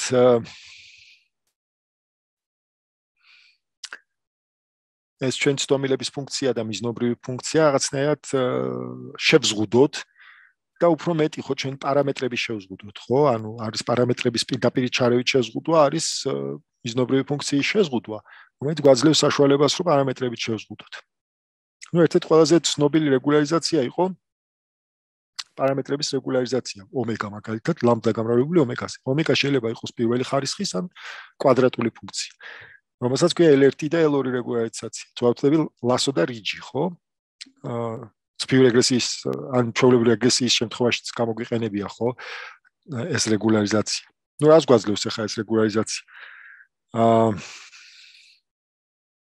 გვაძლევს იმის საშუალებას, რომ უხეშად რო ვთქვათ, ეს ჩვენი პარამეტრები აჩერება პატარა მნიშვნელობაზე შევაჩეროთ. და არ მიცეთ საშუალება რომელიმე პარამეტრი ძალიან გაიზარდოს. რომელიმე პარამეტრის ძალიან გაზდა რას რას რას ნიშნავს? ჩვენ შეიძლება შერჩევა ესეთი გქონდეს რომ რომელიმე პარამეტრი რომ მიუხედავად იმისა რომ დიდია რომელიმე პარამეტრი გრადიენტულმა დაშვებამ უზრუნველყოფს რომ ჩვენ შერჩევაზე მაინც კაი მნიშვნელობა მივიღეთ. მაგალითად რომელიღაც პიქსელზე სურათში რამდენიმე ტიპ რამდენიმე პიქსელების ჯგუფს ჩაება ხო რამდენიმე პარამეტრი და აქედან ერთ-ერთი ან ორი ან რამდენიმე დიდია ნიშნულობით მაგრამ პოპულაციაზე როდესაც უკვე დაკვირვებაში გადავალთ შეიძლება ეს პიქსელები საერთოდ აღარ შეგვხვდეს ან ის პიქსელების პიქსელების ნიშნულობა გაიზარდოს და ან შემცირდეს ხო? ცირე ცვლილება დიდი პარამეტრით ხო? მატრახის პრინციპით? ბოლოშიც დიდი ცვლილება შეიძლება გამოიწვიოს. ნეონქსელის შემთხვევაში ეს პარამეტრი ხო ჩაბმულია ხო თვითონ მნიშვნელობას ხო? ანუ სიგნალს აძლიერებს ან ასუსტებს ხო? თითოეულ სურათ შემთხვევაში თქვა თითოეულ პიქსელის გრაფის მნიშვნელობაში გრაფის ან ტაბულარული მონაცემის შემთხვევაში თქვა რომელიმე რომელიმე מחასიათებლის ხო ერთი ну აქ პიქსელი შეიძლება მახასიათებელი იყოს, მაგრამ პიქსელები ჯგუფია ხოლმე უფრო მახასიათებელი სურათებში. სიტყვის მნიშვნელობას ჩაებას რომელიმეს მაგალითად წინადადების შემთხვევაში და კონტექსტი განსაზღვროს ერთმა სიტყვამ. როდესაც ხშირად კონტექსტს რამდენიმე სიტყვა განსაზღვროს და ის ექვს სიტყვა საერთოდ არ იყოს გამოყენებული, მაგრამ როდესაც ან მაგალითად კატის სურათი იყოს ცენტრში, იყო მოთავსებული ეს კატა და ცხვირის პიქსელებს მიება ეს, მაგრამ ეხლა თქვა კატა ცოტა გვერდზეა სურათში. მაგრამ რადგან იქ და მაღალი წონა იყო იმ ცენტრზე. ხო და იქ ცხვირს იქ ელოდებოდა მაგალითად კატისას ან ულვაშს, ხო? პატარა ცვლილებამ უკვე გამოიწვია რომ პასუხი ამოვარდა ძალიან დიდი ცდომილება მოგცა უკვე პასუხში იმიტომ რომ იქ დიდი წონა ახდენს გავლენას ხო აქ ცხვირის მაგალითად რაღაცა თქვა შავი უბრალოდ თეთრი რაღაც ზედაპირი იყო თეთრი ზედაპირი რუხ ზედაპირთან შედარებით ან უფრო მაღალი მნიშვნელობაა ხო თეთრი ერთია ხო თქვა პიქსელებში და ამან გამოიწვია რომ ძალიან დიდი ნახტომი გააკეთა იქით და ანუ პასუხზე დიდი გზე გავლენა გააკეთა თითოეულმა პიქსელმა ამიტომ ჩვენ ვცდილობთ რაღაც ლამბდა პარამეტრი შევარჩიოთ ისე რომ L2 რეგულარიზაციით, რომელსაც ნეონქსელებში წონების გადახრას ან VDK-ის ვეძახით ხოლმე, DK-ის ვეძახით ხოლმე. აა აი ესეთი რაღაც მაგალითად ერთი მეორედი ავიღოთ და ლამბდაზე გავამრავლოთ ხო ერთი მეორედი. და აბჯამოთ, ანუ ავიღოთ ნორმა ამ ჩვენი წონების ხო, წონების ვექტორის. ნორმა რას ნიშნავს ხო? ნორმა ხო ის ნუ კვადრატული კვადრატების ჯამია და ის ნორმის კვადრატი იქნება ნორმალი ფესვი კვადრატების ჯამი და ნორმის კვადრატი იქნება ჩვეული კვადრატების ჯამი, ხო? ნუ ტიხონოვის რეგულარიზაციას ეძახიან, რიჯე, რიჯის რეგულარიზაციას ეძახიან და რეგრესიის შემთხვევაში რიჯს ეძახიან. ანტიხონოვის რეგულარიზაციას ნეირონული ქსელების შემთხვევაში ეძახიან წონების გადახრას ან ელორ რეგულარიზაციას ეძახიან ხოლმე. წონის გადახრა უფრო მიღებული ტერმინია. ეხლა ჩვენ თუ ავიღებთ ჩვეულებრივად და აა გრადიენტულ დაშვებას ამ ჯერ გამოვთვლით, კვადრატი რა არის, ხო? ესეთი რაღაცაა, ხო? ტრანსფერირებული გამოვიდეთ თავის თავზე, ხო, ვექტორის. ეს არის თითოეული ელემენტების კვადრატის ჯამი, ხო? ჩვენ თუ ავიღებთ ამას და გავაწარმოებთ, ხო? გაწარმოების შემთხვევაში მივიღებთ აა ჯერ ნუ გრადიენტ კერძო წარმოებულის დათვლის შემთხვევაში ხო დანარჩენი ყველა გაბათილდება და რჩება ის კონკრეტული წონა, რომელიც კერძო წარმოებულსაც ვითვლით და ის გამოვდება ლამბდაზე. ნუ ერთი მეორედი რადგან არის ურჯერის კერძო წარმოებული და რჩებოდა, რადგან ურჯერის კერძო წარმოებული 2 და 1 მეორედი ერთმანეთს გა კი გააბათილებდა. ანუ ერთის მივიღებდით ხო, ორი გამრავლებული ერთ მეორეზე ერთია ხო და მივიღებდით ანუ ლაბდა გამრავლებული იმ კონკრეტულ ზონაზე, რომლითაც კერძო წარმოებულს ვითვლით, ხო? გრადიენტის კონკრეტულ ნიშნულობაზე, თითო გრადიენტი ხო ვექტორია, კერძო წარმოებულის ვექტორი და კონკრეტული კერძო წარმოებულისთვის მივიღებთ უკვე აი ეს კონკრეტული ზონას დამატებული უკვე წარმოებული, ხო, ამ ჩვენ მიზნობრივი ფუნქციის. კერძო წარმოებული მიზნობრივი ფუნქციის. უკვე გრადიენტული დაშვების შემთხვევაში მივიღებთ, ну ეხა ეს როდესაც გრადიენტულ დაშვებაზე ვლაპარაკობ, ჩვეულებრივ გრადიენტულ დაშვებაზე, ან ბიჯი როდესაც გამოითვლება გრადიენტით, ხო? გამრავლებული ან ბიჯი ბიჯი უბრალოდ გამრავლებული გრადიენტი.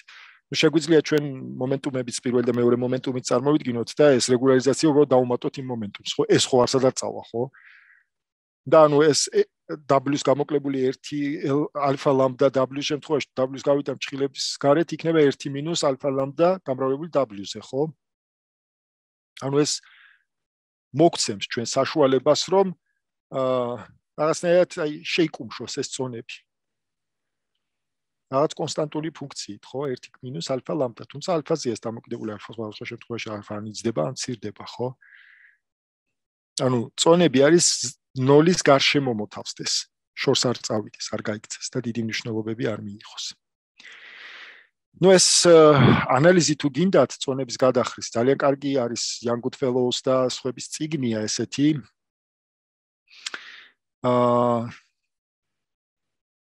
deep learning book ქვია ესე deep learning book.org არის ესეთი საიტი აქ მითითებული მაქვს აა მე მგონი ხო აქ მითითებული მაქვს ლინკი შეგიძლიათ აიღოთ თქვა ტეილორის წკრივი მეორე ხარისხის მიახლოება აპროქსიმაციას მოხა უსასრულო ტეილორის წკრივს ვერ დათვლიდით ну გრადიენტულის შემთხვევაში აქ ჰესის მატრიცა აიღოთ უკვე ჰესიანი აიღოთ ანუ ფუნქციის ხო მეორე ხარისხის შემთხვევაში როდესაც წავთ ერულ წკრივების გაუტოლოთ ნოლს რადგან ჩვენ ну ჩავთვალოთ რომ გრადიენტი ნოლია ხო ეს კარგი შემთხვევაში როდესაც პლატოზე ვართ ხო?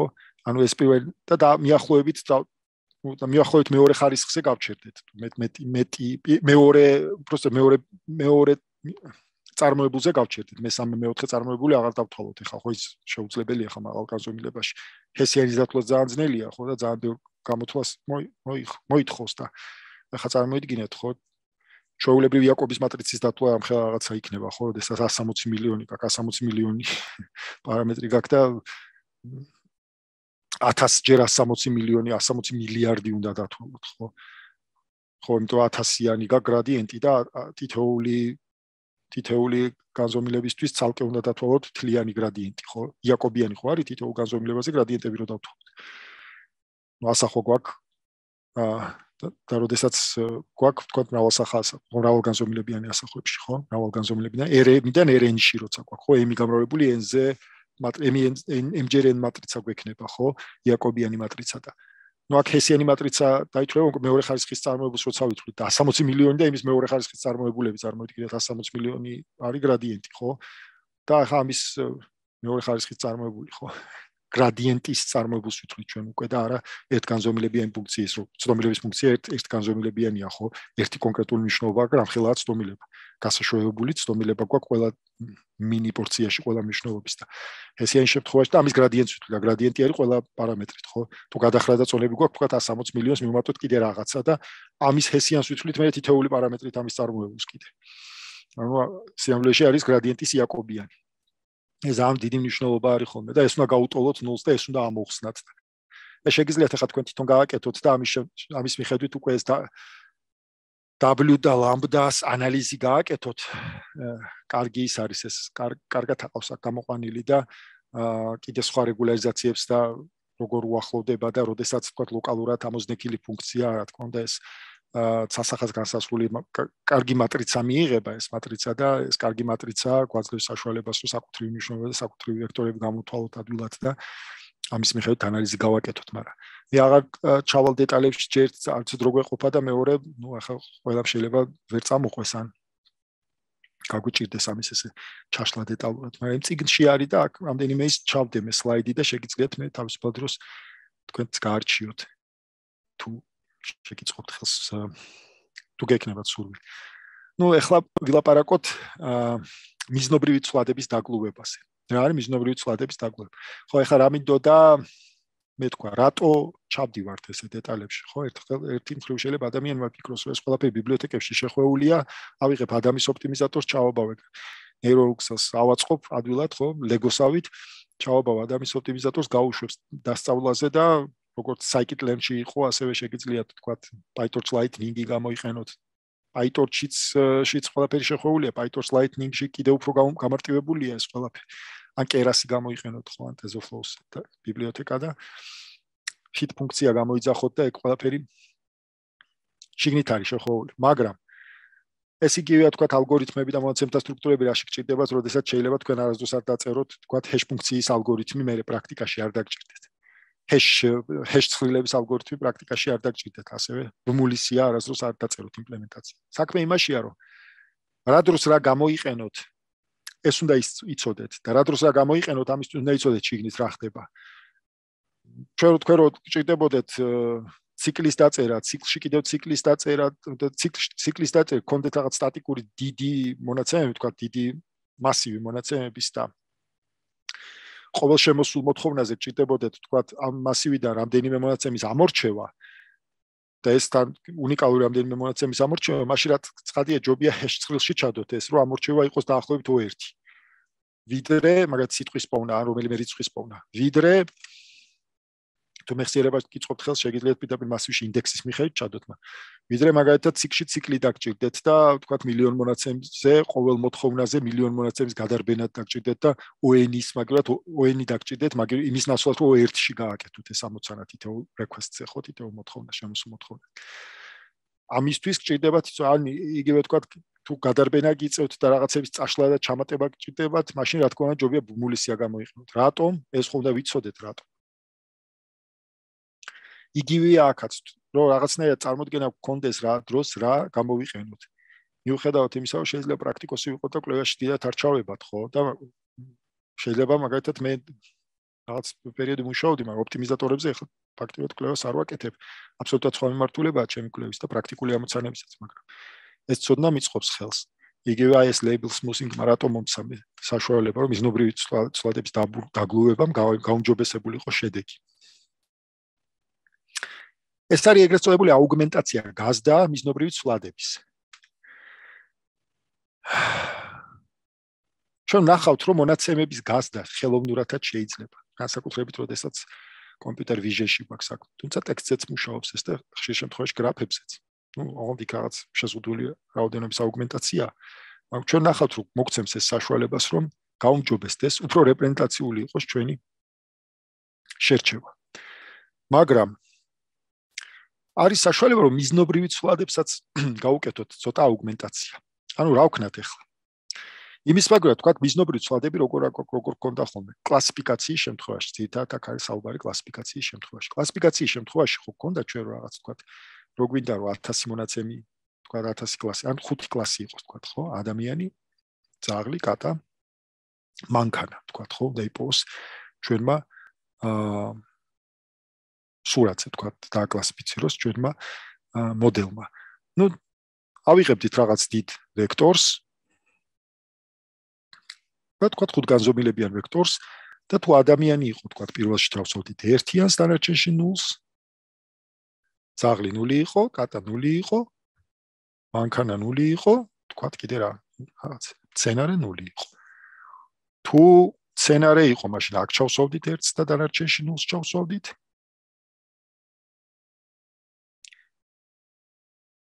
და ამას მიუახლოვდებოდით, ხო? ესეთ ვექტორს მიუახლოვდებოდით. თუ თქვათ მანქანა, ძაღლი ან კატა იყო, მაშინ შესაბამის მნიშვნელობაზე ჩავსვავდით 1-ს. გააჩენ ყველგან ჩავსვავდით 0-ს, ხო? მაგრამ ეხა ორგანიზმების შემთხვევაში რო წარმოვიდგინოთ ჩვენ ვაიძულებთ ჩვენ ფუნქციას, ხო? აქ თუ არის 1 ან აქ არის 1. ეს არის ხო? სინამდვილეში ეს არის რა? ეს არის ჩვენი დგენელი ვექტორები, ხო? წარმოქმნილი ვექტორები, ხო, ჩვენი სივრცის.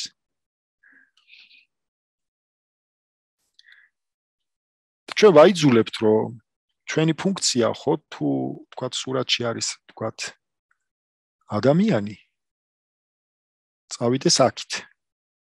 ანასახი. აი აქ მოვიდეს. თუ არის თქვა ადამიანი და თქვა რაღაც მანქანა უნდა იყოს, ხო? თუ არის მანქანა წავიდეს აქით. პირველ და მნიშვნელოვანი რა არის? ჩვენი ფუნქცია არის უწყვეტი ფუნქცია, ხო? უწყვეტი ფუნქცია ნიშნავს, რომ თუ ესენი ეს სურათები ვექტორული მანძილით, ევკლიდური მანძილით ერთმანეთთან ახლოს არის, ხო? მაშინ მათი მნიშვნელობაც ერთმანეთთან ახლოს უნდა იყოს. და ახლოს უნდა იყოს ნიშნავს, რომ სადღაც აქ უნდა მოხდნენ ესენი. მანქანა აქ უნდა მოხდეს. რო თან გამოიცნოს, რომ მანქანაა, ხო? და ადამიანი სადღაც აქ უნდა მოხდეს, რომ გამოიცნოს ადამიანია. და რაც უფრო ახლოს მივა მონაცემები ერთმანეთთან, ესენი თუ ძალიან ახლოს მივა ერთმანეთთან, ესენი ძალიან ახლოს უნდა მივიდნენ ერთმანეთთან. უბრალოდ ნახევარ სფეროში უნდა ნახევარ სიტყვაში უნდა მოხდნენ ან ზევით ან ქვევით. რო თან გამოცნობა მოხდეს. მაგრამ ჩვენ რო ვაიზულებთ რომ აქ მოვიდეს, გრადიენტული დაშვება გაგრძელდება, გაგრძელდება, ეცდება რომ აქ მოვიდეს, მაგრამ თან თავის უწყვეტობასაც არ დაკარგავს, ხო? უწყვეტი წვი ფუნქცია ყოველთვის უწყვეტი იქნება. რა თქმა უნდა, უწყვეტობა გვაძლევს საშუალებას, რომ ნუ ნებისმიერი ეფსილონისთვის, როდესაც ესენი ეფსილონ მანძილზე არიან ერთმანეთთან, აქ არსებობს ისეთი დელტა და დელტა ხო ეფსილონზეა დამოკიდებული ხო და ჩვენ გვაძლევს საშუალებას თან თანაბრად უწყვეტი ესეც არის. ეს გვაძლევს შეშემთხვევაში, ეს გვაძლევს ჩვენ საშუალებას, რომ ნუ დელტა ან დიდი იყოს ან პატარა იყოს ხო? ამ დელტა მანძილზე ესენი ეფსილონზე მიუახლოვდნენ ეს ნიშნავს რომ კი ესენი ახლოს არიან ერთმანეთთან ძალიან მაგათად მაგრამ დელტასთი ცოტათი манипулირება გავაკეთოთ მაგრამ ისე არა რომ აუცილებლად ერთში წავიდეთ აქ მანძილი უკვე ხო ორია ხო ამათ შორის მანძილი და ესე ადვილად ვერ წავა ხო საგ 1 კვადრატ პლუს 1 კვადრატი ორია ფესვიორიდან არის ამათ შორის მანძილი და ესე ესე კარგად ვერ წავა ხო საქმე. ვერ იქნება ესე საქმე ხო რომ აუცილებლად ფესიორი იყოს ამათ შორის დაშორება როდესაც მათ შორის მანძილი შეიძლება ან ახლოს იყოს ან შორს იყოს ანუ თვითონ სურათებს შორის ევკლიდური პიქსელების დონეზე შეიძლება ახლოს იყოს ერთმანეთთან. ეს ერთი. მეორე ზოგჯერ არის რომ ხო ნუ აღარ მიდის ამასთან ახლოს და ამ გრადიენტული დაშვებით ჩვენ ვაიძულებთ რომ რაღაცა მარტო ამ მონაცემს მოერგოს. ამისთვის მოიგონეს ესეთი რაღაცა რომ იცი რა არის? ერთი ვექტორი თუ აქ არის, მეორე ვექტორი თუ აქ არის, მიზნობრივი ცვლადის თქვა y1. ეს ხარისხი რომ არ გვიგონოს. y2 თუ აქ არის, თქვა და ნუ y3 და y4. ეს ორგანზომილებიან სივრცეში ბოდიში. ამათ ამათ რაღაც ბირთვებში მოხდეს რა. ანუ გავაგლუვოთ მიზნობრივი ცვლადიო. ეს ბირთვი ახლა სწორად არ დავხატე, უფრო ესე უნდა იყოს ხო, რაღაც ესეთ ბირთვებში მოხდეს. ან თუ გინდა ახლოს მივიყვანო და ესეთ ბირთვებში მოხდეს. ეს ჩვენზეა დამოკიდებული და მონაცემზეა დამოკიდებული, ხო? შეიძლება სულაც არ იყოს ეს მონაცემები ერთმანეთთან ახლოს. ვექტორულად ისე ახლოს არ მივიდეს მონაცემებთან და პირიქით უფრო პატარა პატარა მიდამოც საკმარისი იყოს ან ნულოვანი მიდამოც საკმარისი იყოს. ნუ ერთი კონკრეტული შემთხვევა, სადაც ეს ჯობია არ გამოვიყენოთ, ეს არის, როდესაც ეგრეთ წოდებული დისტილაცია გვინდა. დისტილაცია ცოდნის გადაცემა ასე ვთქვათ. უბრალოდ სწავლება გვჭირდება. ჩვენი მოდელი როდესაც სხვა უფრო პატარა მოდელს ხშირად უფრო პატარა მოდელს ასწავლის. ну ამ შემთხვევაში ჯობია რომ არ გამოვიყენოთ ეს მიზნობრივი ცვლადების დაგლუება. ისე რომ ან ინტუიციურად წარმოდგენა რომ კონდეტა ეს არის. ანუ რაღაც ეფსილონ მიდამოთი 1 - ეფსილონ ელი გაყოფილი პლუს 1 გაყოფილი კასთან, ხო? ანუ რაღაც ეფსილონ მიდამოთი დავაგლოთ, დაუახ მიდამოთი გავაკეთოთ ესე რომ თუ აქ ჩავარდა უკვე ჩავთვალოთ რომ გრადიენტული დაშვება მიაღწია სტაბილურ კარგ ზედაპირს, ხო? ანუ კარგი უკვე სწორია, ხო? სწორ პასუხს იძლევა ჩვენი მოდელი. თუ აქ ჩავარდა ჩვენ. იმიტომ დაკვირვების დროსაც ხო ესია, ხო? რომელთანაც უფრო ახლოს არის, რომელი კოორდინატიც უფრო ახლოს არის, ანუ რომელ ნახევარსიტყვაშიც მოხდება, იქ იქ გულისხმობთ ხოლმე რომ იქ არის, ხო? თუნდაც აი სუ გადაცდეს ორივეს. ყოველ შემთხვევაში softmax-ი ამის საშუალებას გვაძლევს, ხო? ეს ეს არის ანუ გრადიენტულ წარმოიდგინეთ ახლა გრადიენტს აღარ ვაიძულებს რომ გინდა თუ არა იქ მიდი, ხო? ანუ აღარ ვაწვალებთ ესე ვთქვათ. ეს არის ერთ-ერთი რეგულარიზაციის საშუალება. ну, კარგი იქნება თქვენ თვითონაც წაიკითხოთ და გაარჩიოთ. აა რა არის ეს, მაგრამ ну ეს თქვენთვისაც სასურველია. საინტერესო ლამაზი და ჭკვიანური ის არის, ხო, გადაწყვეტილება, ხო, მიღებული და მე მაგალითად ძალიან ძალიან მოვიხიბლე რომ წავიკითხე და პრაქტიკაში ძალიან გამომადგა. ნახოთ სხვა რა ვიცით კიდევ. ხო, მოდიში. უი ესენც წავშალოთ თორე. აგვირევს ეს twins. მოდიში. ხო, კიდევ რეგულარიზაციის კიდე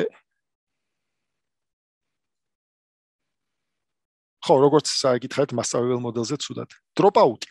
დროპაუტი არის ძალიან მნიშვნელოვანი. აი თუ ხეების მოდელს გაიხსენებთ, ხო?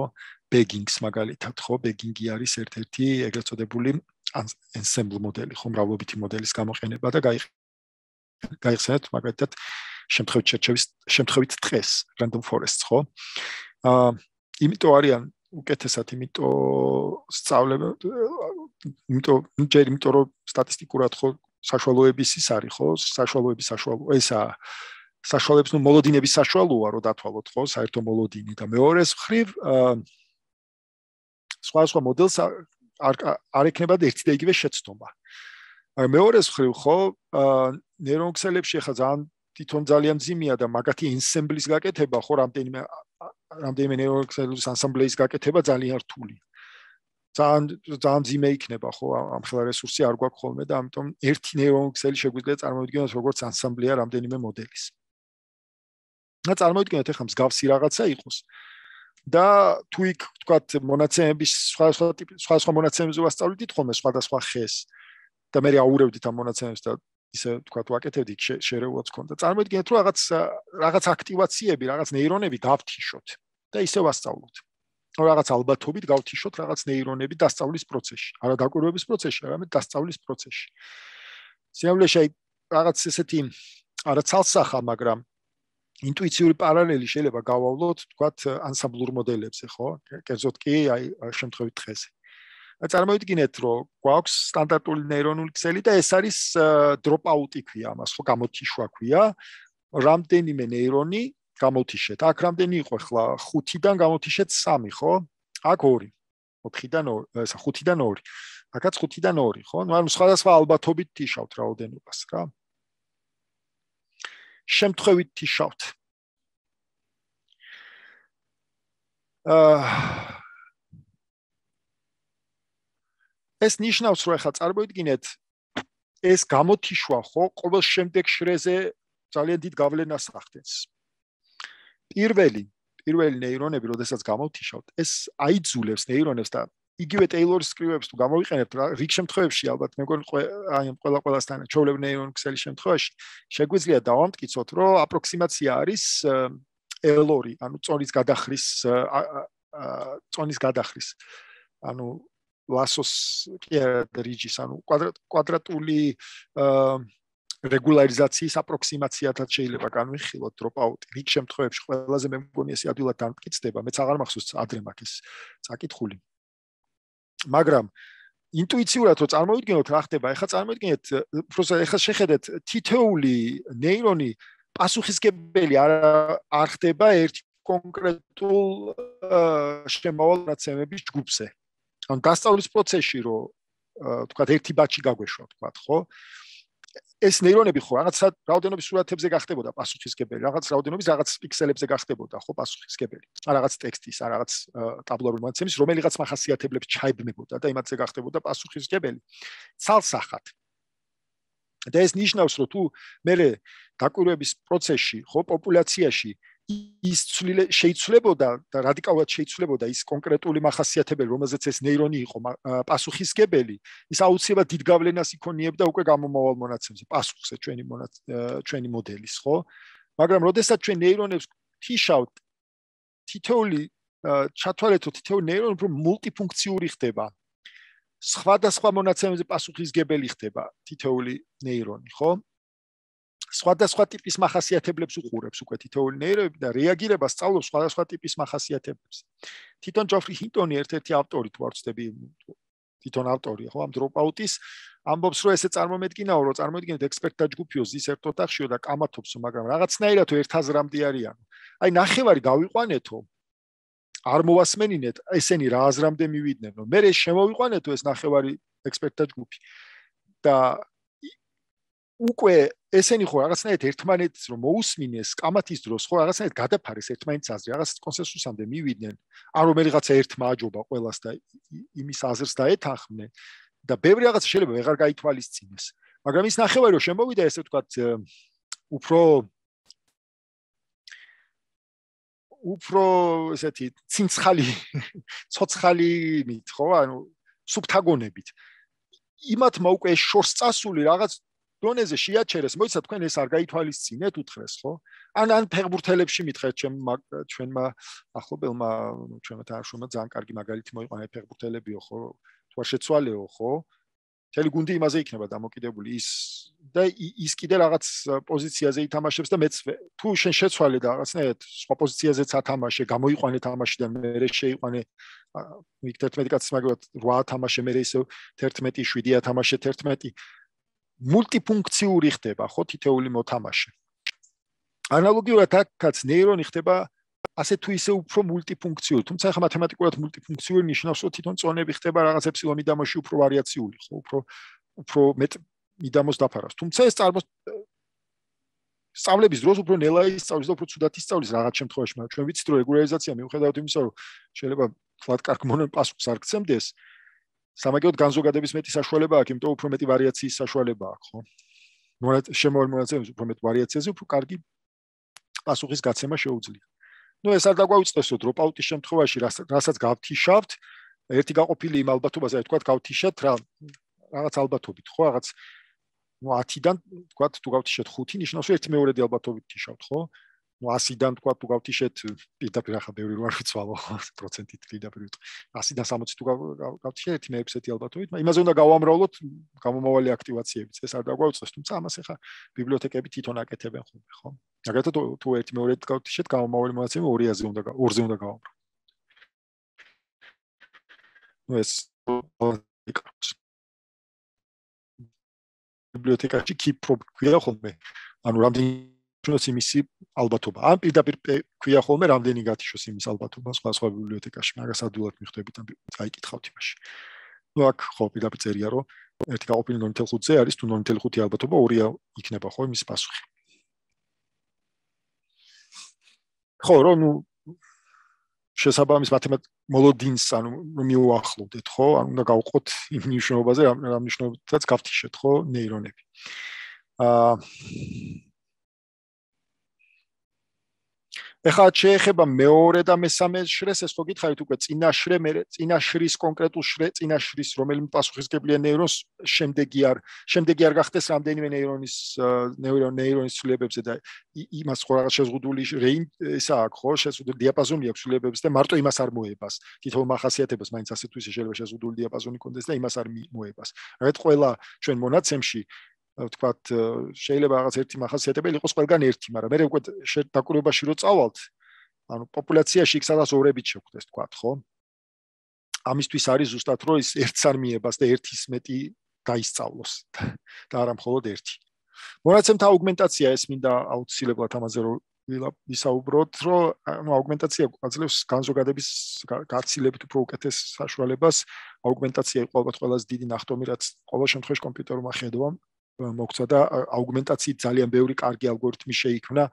აა დაწყებული ავტოენკოდერებიდან დამთავრებული აა დისკრიმინაციული მოდელებით, თვითკონტროლებადი მოდელებით, რომელზეც მე ესე თავისუფალი ლექცია ჩავატაროთ, ან სემინარი, რომელზეც მე ვისაუბროთ, რომ წარმოდგენა გქონდეთ რა არის თვითკონტროლებადი მოდელები. თუმცა ცოტა მოგვიწევს, როდესაც NLP-ზე ვისაუბრებთ თვითკონტროლებადი გრაფებზე, თვითკონტროლებადი მოდელებზე საუბარი. ნუ აუგმენტაცია არის სხვადასხვა ამოცანაზე დამოკიდებულია და სხვადასხვანაირია, ხო? არის ამოცანები, სადაც თუ გვაქვს შერჩევა პოპულაცია მაგალითად მაგალითად თუ გვაქვს რაღაც ვებგვერდების სკრინშოტები აღებული, ხო, ვიცით რომ პოპულაციაში გადახრები არ შეხვდება, იმიტომ სკრინშოტი ყოველთვის ზუსტად იღებს და გადახრა, გადმოხრა და თქვა იქ შიგნით ცვლილებები და ხმაური არ არ შეხვდება. მაგრამ თუ გვაქვს მაგალითად რეალური კამერის სურათები, ხო, სივრცეში აღებული, მაშინ გადახრა თუ მანქანის სურათები გვაქვს, გადმოყირავება თუ არ დაჭirdება, ხო, ამოსაცნობა თუ გადმოყირავდა, ესე იგი მანქანა გადმოყირავდა მთლიანად. ხო, კამერა უყურებს პირდაპირ ну იგულისხმება კამერა არ მოძრება ხა და ამოყირავდება თუმცა იქ შეიძლება დაგჭირდეს ну გააჩნია დამოკიდებულია ხო შეიძლება იყოს ხმაურის დამატება შეიძლება შუქის დამატება ეგრეთ წოდებული ლაითნინგი მოხდეს შეიძლება მოხდეს ფოკუსიდან ცოტათი ფოკუსის არევა ან ბლურინგი მოხდეს შეტრიალება შეზღუდვა სხვადასხვა ნაჭრის ამოღება სურათიდან ცენტრში ცენტრში შეზღუდვა, როდესაც ვიცით, რომ სურათის ძირითადი ინფორმაცია ცენტრისკენ არის. აა ეგრეთ წოდებული არხების ხო? RGB ხო არის red blue green. ამათი red green blue. აი ამ არხების გადანაცვლება ერთმანეთში. აი ერთ-ერთი მაგალითი აუგმენტაციის ეს არის, როდესაც ერთ-ერთი სურათი სულ ესეთი რომ მიიღო თქვა, შეიძლება კატის სურათი ამ კონკრეტულ ფერი ესწავლა უფრო, ну ფერი кай ხა დავიწყოთ ფერი და ეს სწავლა აი ამ განათებაში არის ეგეთი ეგეთ ლეგენდაა ხო? ტანკების ამოცანა ხო? მე მგონი მოვყევი თუ არ მოვყევი რომ მიცეს იყო ესეთი კომპანიას მიცემს დავალება რომ კამუფლირებული ტანკი აღმოეჩინა ტყეში.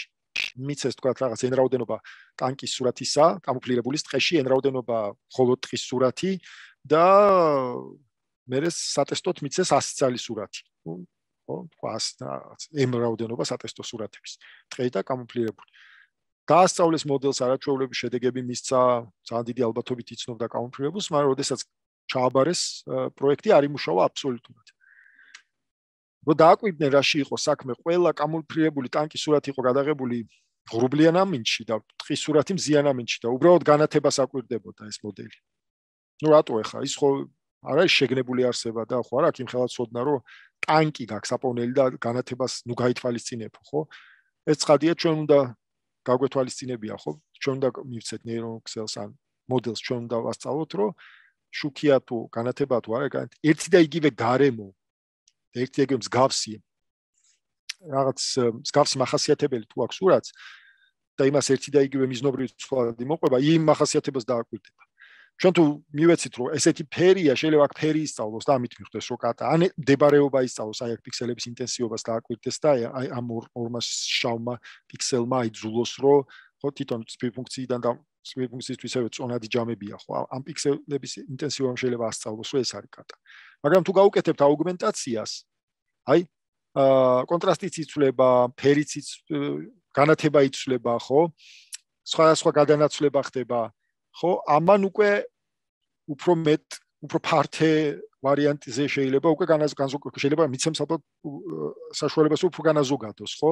და მე შემდეგ დაკვირვების დროს კატა რა პოზიციაში უნდა შეხვდეს მიხვდება რომ კატა როდესაც უყურებს კამერას ანალოგიურად აქაც ხო აი ფერის ცვლილებაც ხდება და აქ უკვე სინათლესთან ერთად კიდევ შემცირება ხდება ხო სურათის ანუ კროპი ხო ამოჭრა ხდება რაღაც ნაწილის და ზომების შემცირება ხდება თავისი ნუ ხშირ შემთხვევაში აუგმენტაცია ჭირდება თვითონ მიზნობრივ ცვლადსაც. მიზნობრივ ცვლადი არის ლეიბლი, ხო, იმიტომ რომ თუ ახლა მაგათ ობიექტის დეტექციას ვაკეთებ და აუგმენტაცია გავუკეთეთ, აქ კი ბატონო კლასიფიკაცია გააკეთა, რომ კატაა, თქვა ამ სურათში, მაგრამ აქ აქ აქ რეგრესია უნდა მოხდეს, ხო, ამ კოორდინატების, ხო, სადაც ეს ოთხკუთხედი უნდა შემოხაზოს და აუგმენტაციის შემთხვევაში ამათი აუგმენტირებაც გჭირდება. ამიტომ ეს არ დაგავიწყდეთ, რომ ოდესაც ხშირ შემთხვევაში შეიძლება მიზნობრივი ცვლადის აუგმენტაციას დაგჭირდეთ. აი აქ არის მაგალითად ძალიან კარგი დიდი სურათი აუგმენტაციის, ხო ეს გადატრიალება არის 45 გრადუსით, 90 გრადუსით შემოტრიალება, ხო?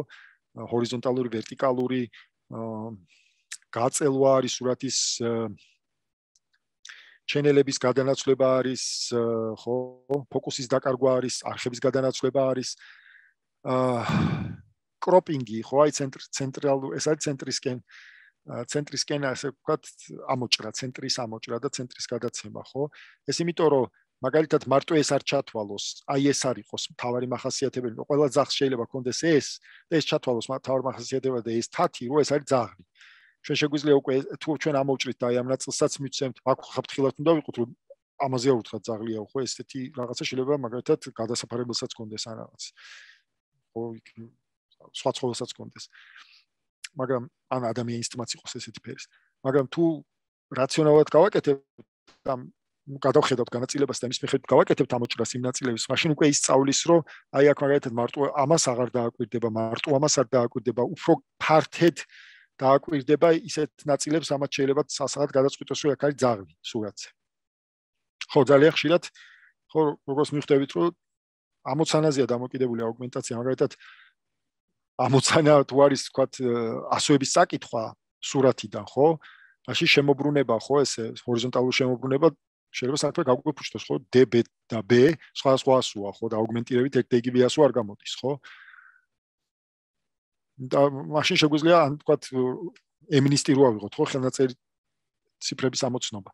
მექვსიანის გადმოტრიალებით ხო ვერტიკალურად 900 მივიღებთ მაშინ შესაბამისი მიზნობრივი ცვლადის უნდა აუგმენტირება გაუკეთოთ, მაგრამ არის შემთხვევები, როდესაც ვერ ვაკეთებთ მაგას, ხო მიზნობრივი ცვლადი, კი 6-ის შემთხვევაში ვიცით, რომ ვერტიკალურად 9 უნდა იყოს და შეგვიძლია if-else-იც დავწეროთ იქ ახლა პროგრამაშიო, თუ მიზნობრივი ცვლადი არის 6, ვერტიკალური გადმოტრიალება, ვერტიკალური აუგმენტირების დროს, გადმოტრიალების დროს, აუცილებლად 9 მიეცი, ან თუ არის b, მიეცი d ან d b ან 9 6 6 9, მაგრამ არის შემთხვევები, როდესაც არ არის ესე ადვილად, ხო საქმე იცვლება, მაგრამ რა გახდება არ ვიცით.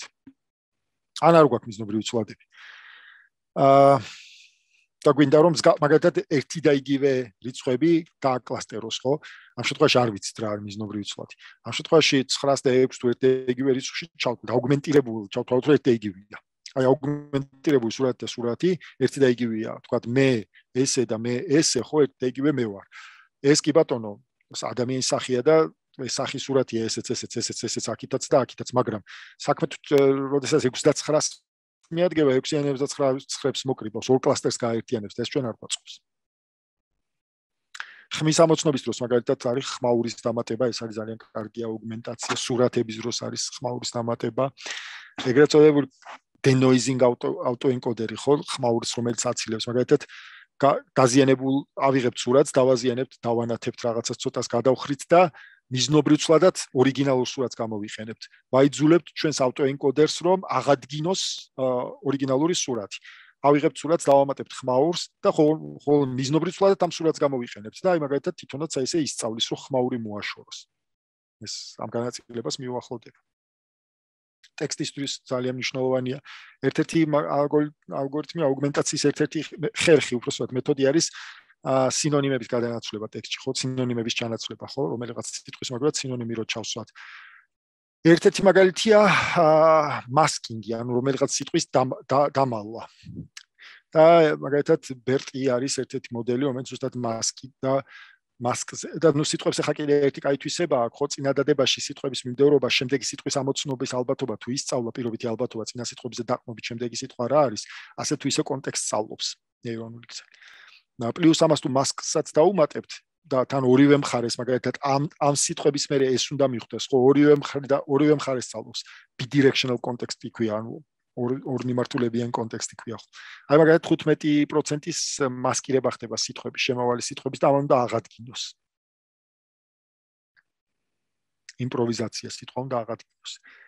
აი ეს არის ბერტის აი ტრანსფორმერის ენკოდერ დეკოდერი აა ხო, ბერტის შემთხვევაში კლასიფიკაციას აკეთებს, ხო, რომელი იყო დაფარული სიტყვა. და ტრანსფორმერის შემთხვევაში პირდაპირ სიტყვას აღადგენს. რაღაც სიტყვა 1, სიტყვა 2, სიტყვა 3, სიტყვა 4 მასკირებულია, სიტყვა 5 და ნუ რაღაც ალბათობით აღადგენს სიტყვა 4-ს. და თან ნუ აღადგენს ამათაც და შესაბამის სიტყვას და თან ხო შემდეგი სიტყვის ალბათობასაც ითვლის. ადრეული გაჩერება. ნუ ეს ახლა მეთოდია იმის როგორ მივხვდეთ რომ ჩვენი მოდელი წავიდა გადასწავლი overfitting-ში ხო?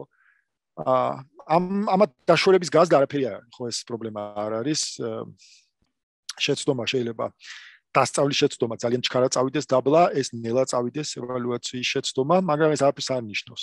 თავარია რომ ორივე ერთ იგივე მიმართულებით წავიდეს. დასწავლა თუ ქვევით წავიდა და ევალუაციის შეცდომა ზევით წავიდა აი ეს არის გარდანტეხი. წერტილი და ეს ნიშნავს რომ უკვე გადასწავლა ხდება overfitting-ი ხდება. ამ შემთხვევაში ნუ ჯობია ანუ ასე აუგმენტაცია გავუკეთო. ყოველ შემთხვევაში ჯობია გავჩერდეთ. თუ ვერც აგმენტაციას ვაკეთებთ და მეტი დამატებითი არაფერი საშუალება არ აქვს, ჯობია გავჩერდეთ. ანუ გარდატეხის წერტილიდან ცოტა წინ წავინაცვლოთ და აი ეს ჩავთვალოთ ჩვენს ოპტიმალურ ვარიანტად. ეს არის ნუ ადრეული გაჩერების ერთ-ერთი მაგალითი. აი ეს არის ზუსტად ოვერფიტი, ხო, როდესაც სხვა და სხვა მიმართულებით მის. არა ისე რომ ეს ეს ნახეთ აქ ახლოს არის ერთმანეთთან, მე იზდება მანძილი, ეს არაფერს ანიშნავს. ევალუაცია, ხო, validation set-ი რასაც ქვია, ხო? ევალუაციის დაკვირვება და ტესტზე დაკვირვება, ტესტი ბოლოს ხდება ახლა ტესტზე დაკვირვება, ტესტი არ უნდა ერეოდეს.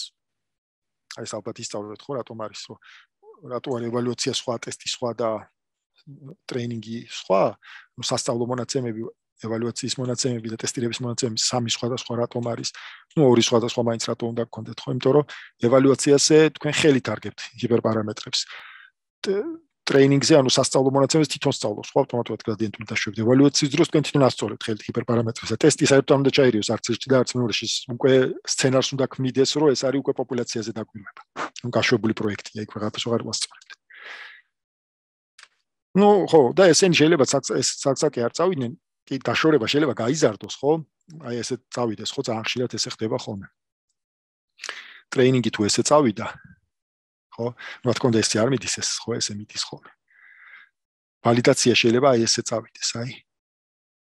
მაგრამ სანამ ესენი ქვევით მიდიან ორივე, კი იზრდება ამათ შორის დაშვება. ამას არ აქვს, არავითარი მნიშვნელობა არ აქვს. კაი იქნებოდა შეცდომა კაც დაბლაწასულიყო, მაგრამ ესე არ აქვს. შეიძლება ეს წავიდეს, ხო? საქმე ერთ სუდათ, როდესაც ეს წავაწავა და უკვე დაიწყებს ზევით წასვლას და ეს ქვევით გააგრძელებს გზას. აი აქ ჯობია უკვე გავჩერდეთ და სადღაც ნუ გარდატეხი წერტილი თუ ეს იყო, სადღაც ეს ჩავთვალოთ, ნუ უფრო სტაბილურად, სტაბილური რო იყოს კვები ცვლა, აი ეს ჩავთვალოთ. აი გავჩერდეთ. და ნუ ახლა ან სხვა ზომები მივიღოთ, ახლა უკვე ესეთ რაღაცა ძალიან იშვიათად ხდება ხოლმე, ხო? სხვა ზომებს ხებულობთ, ან ზდით მონაცემებს, ახალ მონაცემებს მოვიპოვებთ. შერჩევას გავაუმჯობესებთ, შევცვლით. მოდელში შევცვლით და ასე შემდეგ. ჰიპერპარამეტრებს დავხვეწავთ.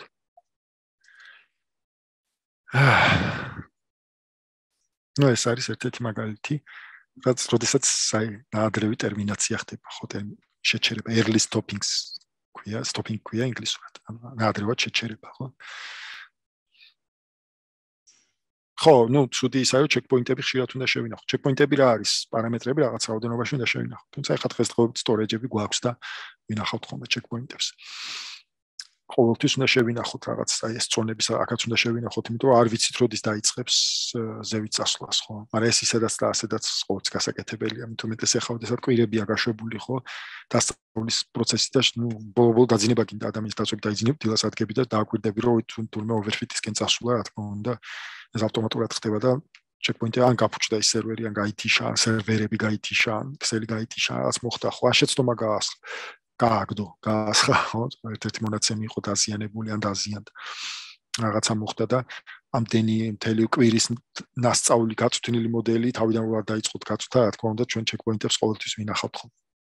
უფრო მეტი ახლა ხო იქ პლატოებს როდესაც ვისაუბრეთ, ჩამოსვლის დროს ახლა დაშვების დროს, აქ კარგი პლატო იყო, მშვენიერი, მე აი ესეთი ვითომ უფრო კარგი ექსტრემუმი და მე ну ეს რა თქმა უნდა ახლა ქვევით ასევითაც მიდის, მაგრამ აქ მე ცუდი პლატოებია ხო და ეს მინდოდა და აი აქ დავაკვირდი და ეს შევინახე. მით უმეტეს როდესაც ჩემი დაშვების პარამეტრი ხო ბიჯის სიგრძე აქიდან გადმოხტი რომ მე აქით მომეზუმა ნიადაგი რამდენად კარგ კარგ ზედაპირზე მოხტი აქითაც გადმოხტი ხო აქიდან კიდე აქით გადმოხტი და უბრალოდ აქით გადმოხტი და ხო ნახეთ ხო ეს ჩვენი ბიჯი შეიძლება ესე ესე ვსარდოთ ხო? ეს გაზდა თითქმის ერთი რეგიონის შნობაზე ხდება ხოლმე და ესე ვიაროთ ხო ბოდიში.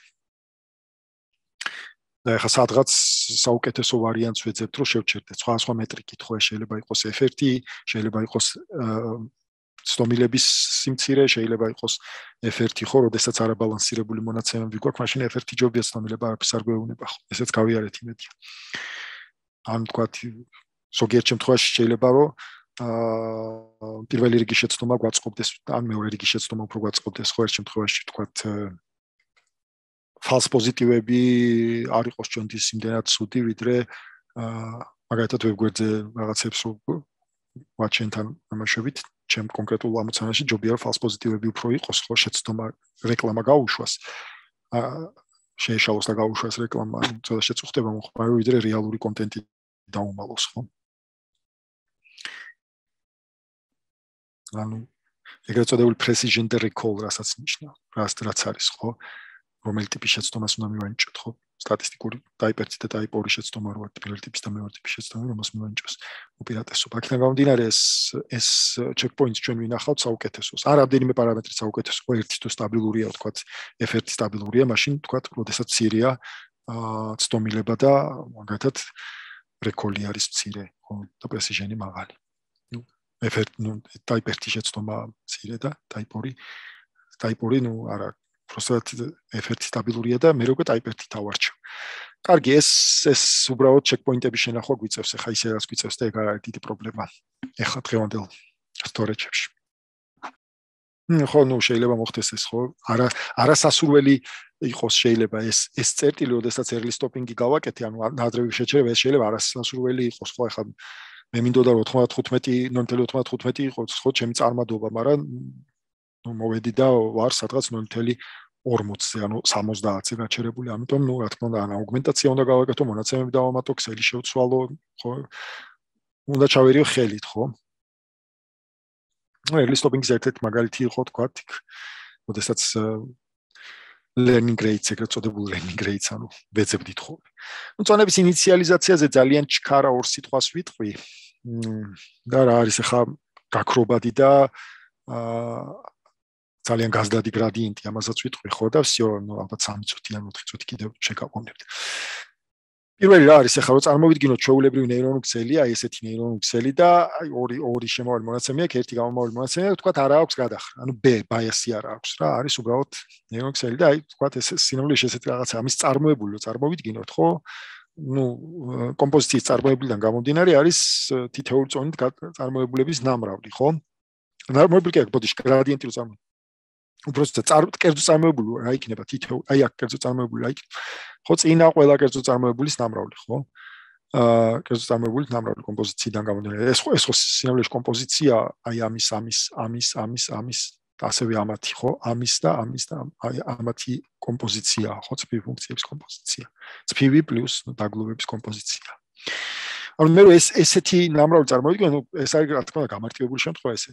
მაგრამ ნუ ნამრავლის წარმოებული ხა ნამრავლი რას გვაწყობს ნამრავლის წარმოებული სათვისება საერთოდ ნამრავს სათვისება თუ თითოეული მნიშვნელობა თითოეული წონა ძალიან პატარა ცირია ერთზე მაშინ ეს ნოლისკენ წავა ხო? ნამრავლი. ერთზე ერთზე გაცილებით ცირეების ნამრავლი ნოლთან ახლოს იქნება თუ ძალიან დიდია ანუ ერთზე დიდია მაშინ ბევრი ნამრავლი თუ გვაქვს იქით გაიზრდება ხო? ეს ძალიან დიდი დაბრკოლება იყო ხო? ეს ეს იყო ძალიან დიდი დაბრკოლება განსაკუთრებით რეკურენტულ ნეირონულ ქსელებში. ძალიან ღრმა ნეირონულ ქსელებში იყო დაბრკოლება და ამის თავიდან ასაიდებათ რამდენიმე ალგორითმია მოფიქრებული რომ ეს vanishing gradient და exploding gradient exploding კიდე ნუ გაზდით გაზდას კიდე უზრუნველყავთ თქვა წონებს შევზღუდავთ იქ რეგულარიზაციას დავადებ წონებს შევზღუდავთ. მაგრამ სიმცირე რო არის წონა იმას ხელით ვერ გავსდით. ის საერთოდ ამოგვაგდებს gradient-ული დაშვებიდან გაგუჩებს საქმეს ზუსტად ცირე უნდა იყოს წონა გვაწყოს ჩვენ ცირე მაგრამ ხელით ვერ ვაიძულებთ რომ ამაზე მცირე იყავი ოღონდ თქვა ესე პატარა ნუ იქნები ესე ვერ ვერ უშვებით ცონას გაზდის შემთხვევაში შეიძლება მოვჭრათ რა რაღაც რაოდენობა შევზღუდოთ რომ ამას დიდი არ გაიზარდოს და მოვჭრათ თქვა ნუ ერთზე მეტი არ იყოს თქვა ჩვენი წონა ანუ რეგულარიზაციებზე ვილაპარაკეთ პლუს ხო და აა კლიპინგი ქვია თუ არ ვცდები კლიპინგის გრადიენტი მაგრამ მაგრამ შემცირების დროს ვერაფერს ვერ უშვებთ. ნუ ამაზე ვილაპარაკებთ ახლა რეკურენტული შემთხვევაში ვილაპარაკებთ ეგრეთ წოდებულ გეითების ალგორითმებზე, რომელსაც უზრუნველყო ეს. ნუ რეზიდუალ ქსელზე ამ საერთოდ სხვა მიზნებისთვის გაკეთდა, მაგრამ თორცდები ესაც უზრუნველყო ახლა რეზიდუალ მაკაში. მოდი ახლა ვილაპარაკოთ ინიციალიზაციაზე, როგორი თავიდან რაწონები დავადოთ. ნოლები არ გამოდის. ნოლები არ გამოდის, იმიტომ რომ სიმეტრია გვაძლევს ძალიან ცუდ თვისებას, რომ ყველა წონა ერთნაირად ეს ხო სიმეტრიული ეს ცბივი და სიმეტრიული კავშირია და ეს ჩემი დავალება იქნება რომ თქვენ თვითონ დაამტკიცოთ რომ როდესაც ნოლებით გავაკეთებ ან ინიციალიზაციას თქვათ ჩემი წონების ნეირონულ ქსელში როგორც მაგალითად შემეძლო გამეკეთებინა აა ცბივ რეგრესიაში ან SVM-ის შემთხვევაში ნუ ლოგისტიკურ რეგრესიაში ხო ერთ ეგრე მოდელი გავს ხო ცბივ მოდელების შემთხვევაში ეს ადვილად შემეძლო გამეკეთებინა ნოლებით გამეკეთებინა პარამეტრების ინიციალიზაცია და ასევე გადახრების ნოლებით ნეირონქსელებში ესე არ გამოდის, ნოლებით ინიციალიზაციას ვერ გავაკეთებთ. და ძალიან მინდა რომ დაამტკიცო თქვენ თვითონ რომ ნოლების შემთხვევაში აბსოლუტურად წონაზე დეგიო მნიშვნელობა იქნება. დასწავლის მერე. კარგი იქნება ეს თქვენ ცადოთ დაამტკიცება. და ნუ ახლა კარგი ამ გადახრებში შეიძლება რომ იყოს ნოლები გავუკეთოთ რა გადახრების ინიციალიზაცია. მაგრამ მე რო ახლა შემთხვევითი ნორმალური განაწილებით აქ ნიშნავს რომ 784 50-ია, ხო თითოეული ზონა, თითოეული შრეზე არის მატრიცა, ხო? ნუ თქვა თქო. გადახრა 50 იქნება ვექტორი. ნუ გადახრის განზომილება რადგან დაბალია, გადახრას რეგულარიზაცია ესე წარეთ არ ჭირდება ხო? ამიტომ გადახრის რეგულარიზაციას არ აკეთებ. იმის დაბალი განზომილება აქვს.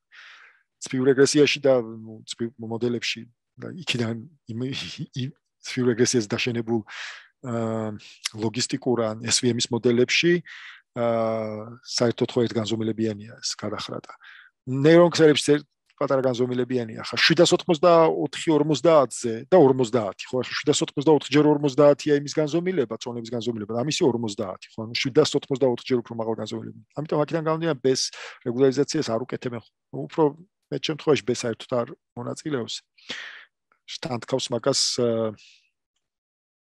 ეგეც ორი მინი ბაჩი სამ პორციის ნორმალიზაცია ბაჩ ნორმალიზაცია რომელზეც შემდეგზე ვისაუბრებთ.